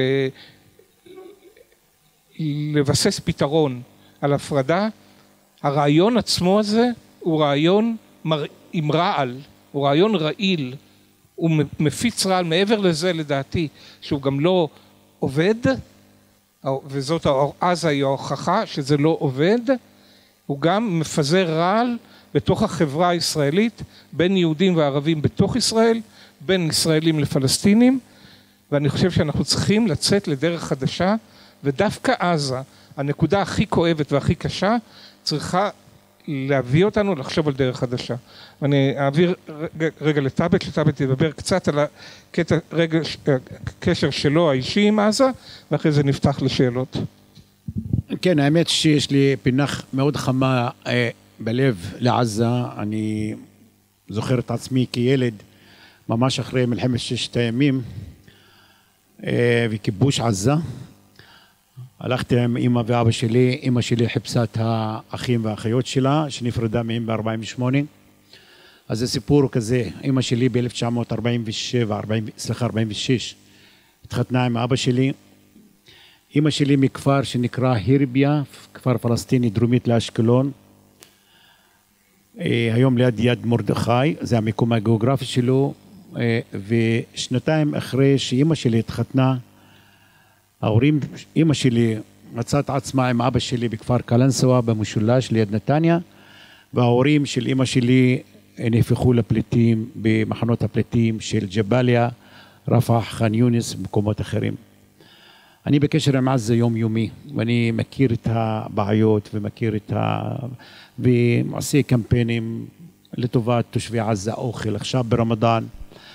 אני לא רוצה להוסיף ולהגיד לכם אה, כמה המצב הוא קשה, אבל אני רוצה להגיד לכם שהיינו שם, היינו בשמונה מלחמות ומבצעים צבאיים עם עזה, ועזה עדיין שם. עזה עדיין שם.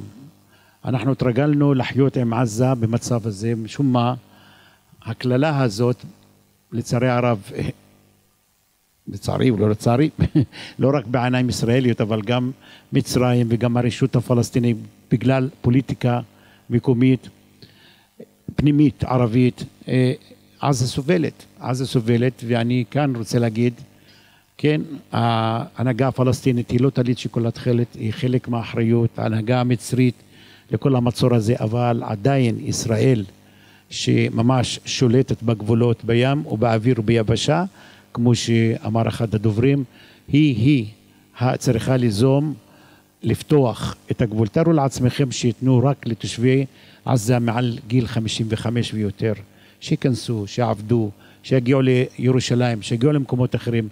פשוט צריך לתת תקווה לאנשים, אין תקווה לאנשים היום. לכן רואים אותם עושים כל מיני שטויות, בטח צריך לגנות אה, אה, שריפת שדות ופעולות טרור וכל הדברים האלה. אבל חברים, אם נתמקד רק בזה, אנחנו לא פתרנו את הבעיה. צריך, כמו שאמר חסן אל-ג'מאל מג'באליה, צריך, עזה זה לא סיפור בפני עצמו, סיפור בפני עצמו הוא הסוגיה הפלסטינית. ומה שהתנועה שלנו מציעה זה דבר מדהים, כל כך נכון וכל כך ישיר. אנחנו לא רוצים לעקור אף אחד. אני הפלסטיני, אני אומר לכם, מי שרוצה מהמתנחלים שימשיך לגור במקומו זכותו, תנו לו לגור במקומו, אם זה חברון, אם זה שכם, בכל מקום. אני לא צריך לעקור אף אחד, אוקיי? בואו ניתן זכות, גם כן, אותה זכות לפלסטינים, אוקיי? יש מספיק מקום לכולם במרחב הזה שנקרא מולדת. ברור שלא נעשה דברים שמאיימים, שמפחידים. כל דבר צריך לעשות אותו ממש בהדרגתיות. לא רוצים לאיים לא על הרוב היהודי של המדינה היהודית, ואנחנו יודעים שהמדינה הזאת קמה כביטוי לזכות הגדרה עצמית ליהודים וצריך לשמור על זה. אבל גם צריך לתת לפלסטינים לחיות באותה מידה, אוקיי? אנשים דיברו הרבה על קראמה, דיברו על חופש, דיברו על דברים שהם נראים בסיסיים לנו כאן, והדברים האלה חסרים שם בעזה. אני חושב שצריך לשלב ידיים. אי אפשר, העניין הזה לא הולך להיגמר. לא עזה, לא הסוגיה הפלסטינית. מחר יחליפו מנהיג פה, מנהיג שם. לכפות על הפלסטינים דברים בכוח, זה לא ילך. אז הפלסטינים חלשים עכשיו. מי אמר שהפלסטינים ימשיך להיות חלשים? פלסטינים אוהבים את ירושלים בדיוק כמו שאתם אוהבים אותה, אוקיי? אוהבים את המולדת הזאת. ושוב, אני מאוד מצטער, ואל תיקחו את זה כביקורת, מתוך אהבה אני אומר לכם את זה.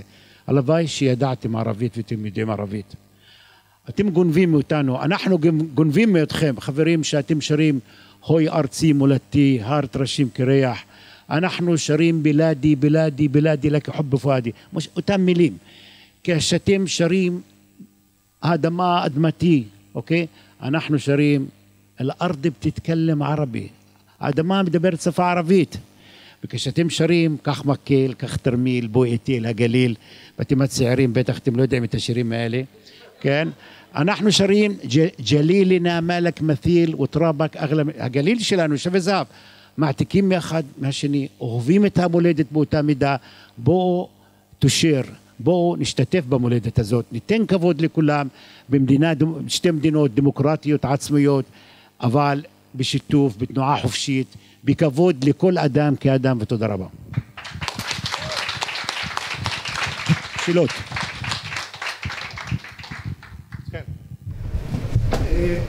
בקשר לפתרון המוצע, בניגוד לאירופה למשל, שצרפת וגרמניה הן אה, פחות או יותר שוות מבחינת יחסי הכוחות, פה אני קצת חושש שישראל ופלסטין הן מאוד שונות א' מבחינת התרבות השלטונית, גם מבחינה כלכלית יש הבדלים עצומים.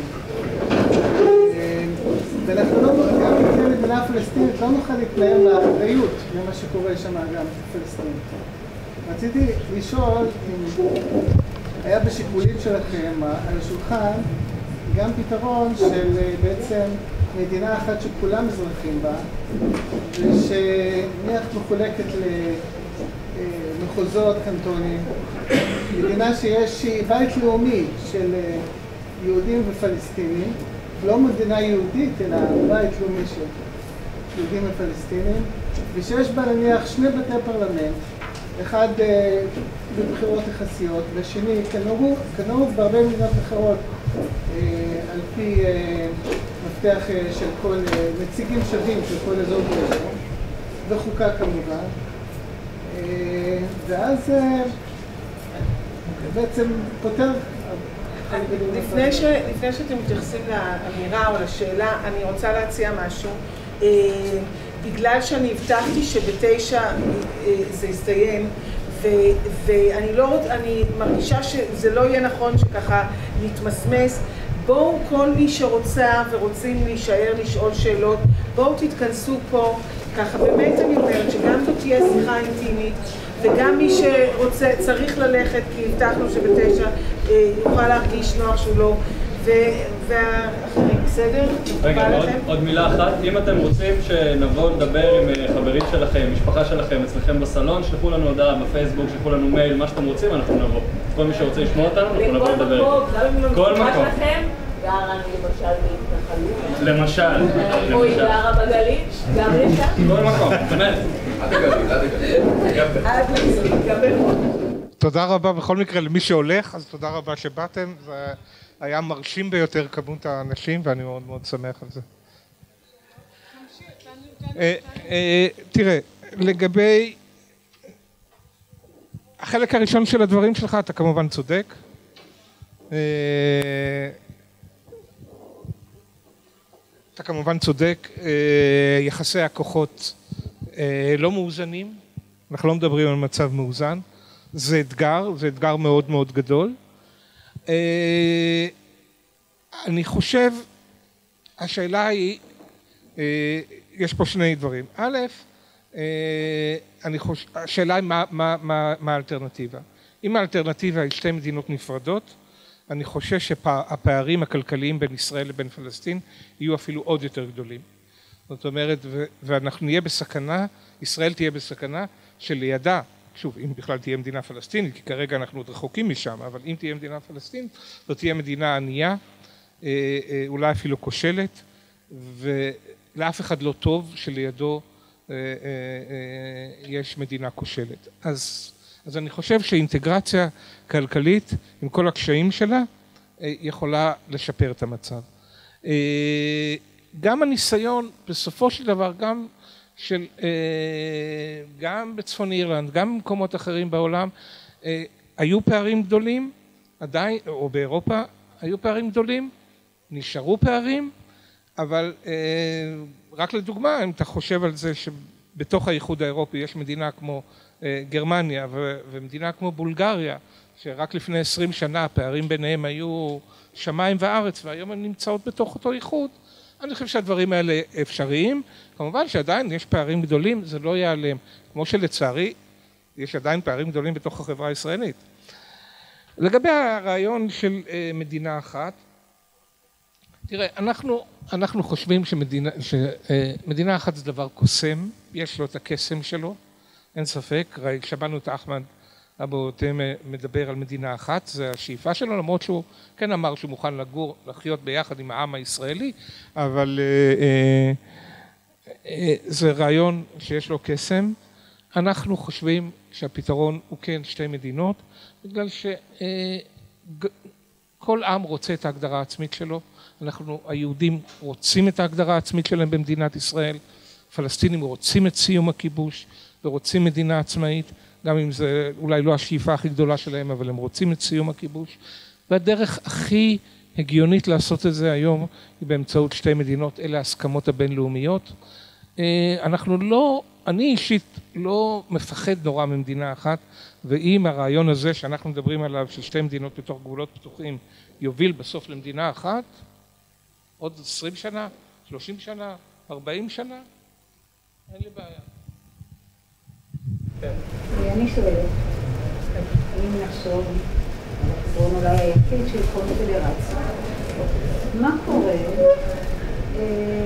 והמתנחלים נשארים במקומם, נשמעים לשלטון הפלסטיני ובתים שלנו.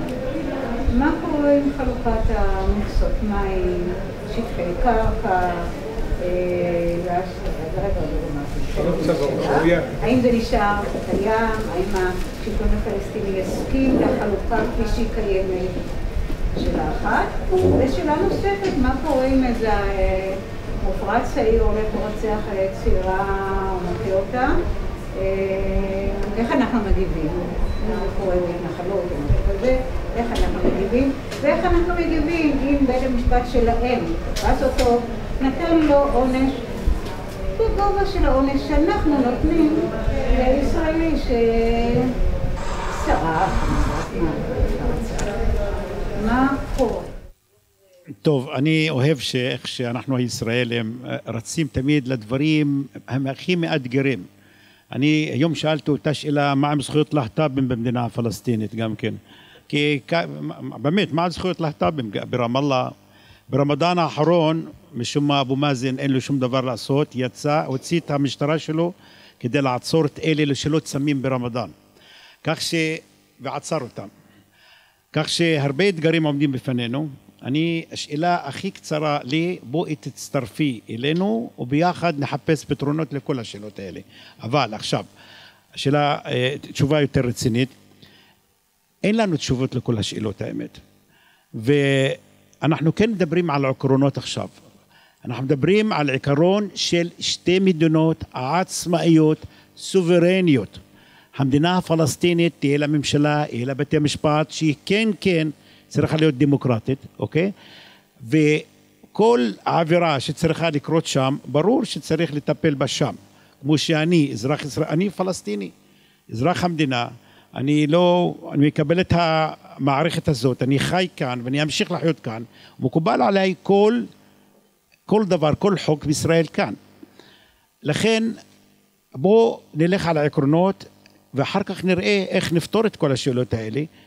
אין לי ספק שאנחנו לא הולכים לפתור את הכל, יש, תשמעי, 70 שנה אחרי המדינה, לא יודע, מדברים על גיוס חרדים רק היום, מי הוא יהודי, עדיין היהודים החכמים ביותר לא הצליחו לפתור אותה, זה תהליך, אז בואי, אל, אל תשימו לפלסטינים כל כך הרבה חסמים ואתגרים שיפתרו את הבעיות שלהם. אני יכול להביא עוד, לא רק העניין של להט"בים ואחרים, שהרבה שאלות שלא קשורות ביהודים ומתנחלים. אבל מה כן, אני חושב שהעיקרון הוא שהמדינה הפלסטינית חייבת להיות דמוקרטית, חייבת לשמור על זכויות כל תושביה, כל מי שיגור שם, כולל יהודים, ואם יהיה מיעוט יהודי, צריך לחשוב על זכויות של מיעוט גם כן, שם. אני מאמין, הנה, ישר, אין מדינה ערבית, אז יש מדינת ישראל. זהו. אז זהו, חברים, אנחנו מדברים על עתיד ועל שלום. אבו מאזן וכל ממשלו תחת כיבוש, שכל חייל קטע ג'יפ צבאי אחד יכול להיכנס הלילה לרמאללה ולקחת את מי שהוא רוצה. ברור שהמציאות האלה, אתם משווים מציאות מאוד עגומה שקיימת היום, שאני, אני, אני הכי ביקורתי על אבו מאזן, אני בפייסבוק שכותב על מעצר אנשים שיצאו בכיכר מנרה, לא יהודים ולא מתנחלים, פלסטינים, פעילי חברה אזרחית, יצאו להגיד לאבו מאזן הסר את המצור מעל עזה, תן משכורות לפקידים שם בעזה, והוא נכנס בהם, אבו מאזן נכנס בהם. כך שיש הרבה אתגרים שעומדים, אבל ההשוואה הזאת בין ישראל לבין הפלסטינים, בין מדינות ערב, בין זה, חברים, אין ספק שהמצב בישראל הרבה יותר טוב מכל מדינות ערב, כולל טוניסיה וכולל... אבל אם אתם חושבים שהמצב בישראל הוא אידיאלי, וואו, אנחנו מאוד רחוקים מזה, יש הרבה מה לשפר במערכת הישראלית, אוקיי? אני כאזרח ערבי, לא אני אומר את זה, אני אזרח במדינה הזאת, נולדתי, אני בן 63, אני מופלה לרעה כאן. יש חוקים מפלים נגדי, זה לא אני אומר את זה, זה בתי משפט, זה, זה, כולם אומרים, זה הממשלה אומרת את זה, לכן הממשלה, דווקא ממשלת הימין הזאת, עכשיו מנסה לשפר את המצב אה, של האזרחים הערבים. לכן בואו לא נחפש את האידאליה, יש הרבה מה לשפר, כן כן הפלסטינים אמרתי לא תלית שיקולת תכלת, יש מה לשפר, אבל צריך לתת צ'אנס, עדיין צ'אנס ושלום וניסיון לפתור את הסוגיות האלה הרבה יותר טוב מהמצב הסטטוס קוו הקיים היום, כי הוא ממש לא, לא טוב, לא לישראל ולא לפלסטינים. מי עכשיו? רגע, אז אני, לא, אז שנייה, רגע. רגע. רגע, אז, אז אני אענה, אני אענה, שנייה, אני אענה ספציפית לשאלות האלה. כי טאבט דיבר על העניין של המדינה הפלסטינית הדמוקרטית. זה חלק בלתי נפרד מהרעיון שלנו. אנחנו מדברים על שתי מדינות דמוקרטיות, ואנחנו מדברים גם על בית משפט עליון אה, אה, לזכויות אדם, שיבטיח את זכויות אה, האזרחים בכל הארץ. זאת אומרת, גם הישראלים שיחיו בפלסטין, הפלסטינים שיחיו בישראל. ככה שמה שאת אומרת, עונש מופרז, נגיד, לפלס... ל... ל... ל... לישראלי שיעשה משהו בפלסטין, יגיע לאותו בית משפט, יגיע לאותו, לא, עונש, יגיע לאותו בית משפט, אם העונש יהיה מופרז, לא, לא פרופורציוני, הוא יינתן לו רק כי הוא יהודי, אז אותו בית משפט, כן, אבל יכול להיות גם ההפך, יכול להיות גם ההפך. אם יהיה יחס לא הוגן כלפי ישראלי שחי בפלסטין או פלסטיני שחי בישראל, אותו בית משפט יוכל לתת מענה. לגבי מה ששאלת זכויות המים, ברור, ברור, ברור לחלוטין שהסיטואציה הנוכחית לא תישמר. יהיה חלוקה צודקת ושוויונית של אה, אוצרות הטבע בארץ הזאת באופן אה, אה, סביר, הגיוני, מוסכם, המצב הזה של שליטה ישראלית בלעדית על מקורות המים לא יהיה.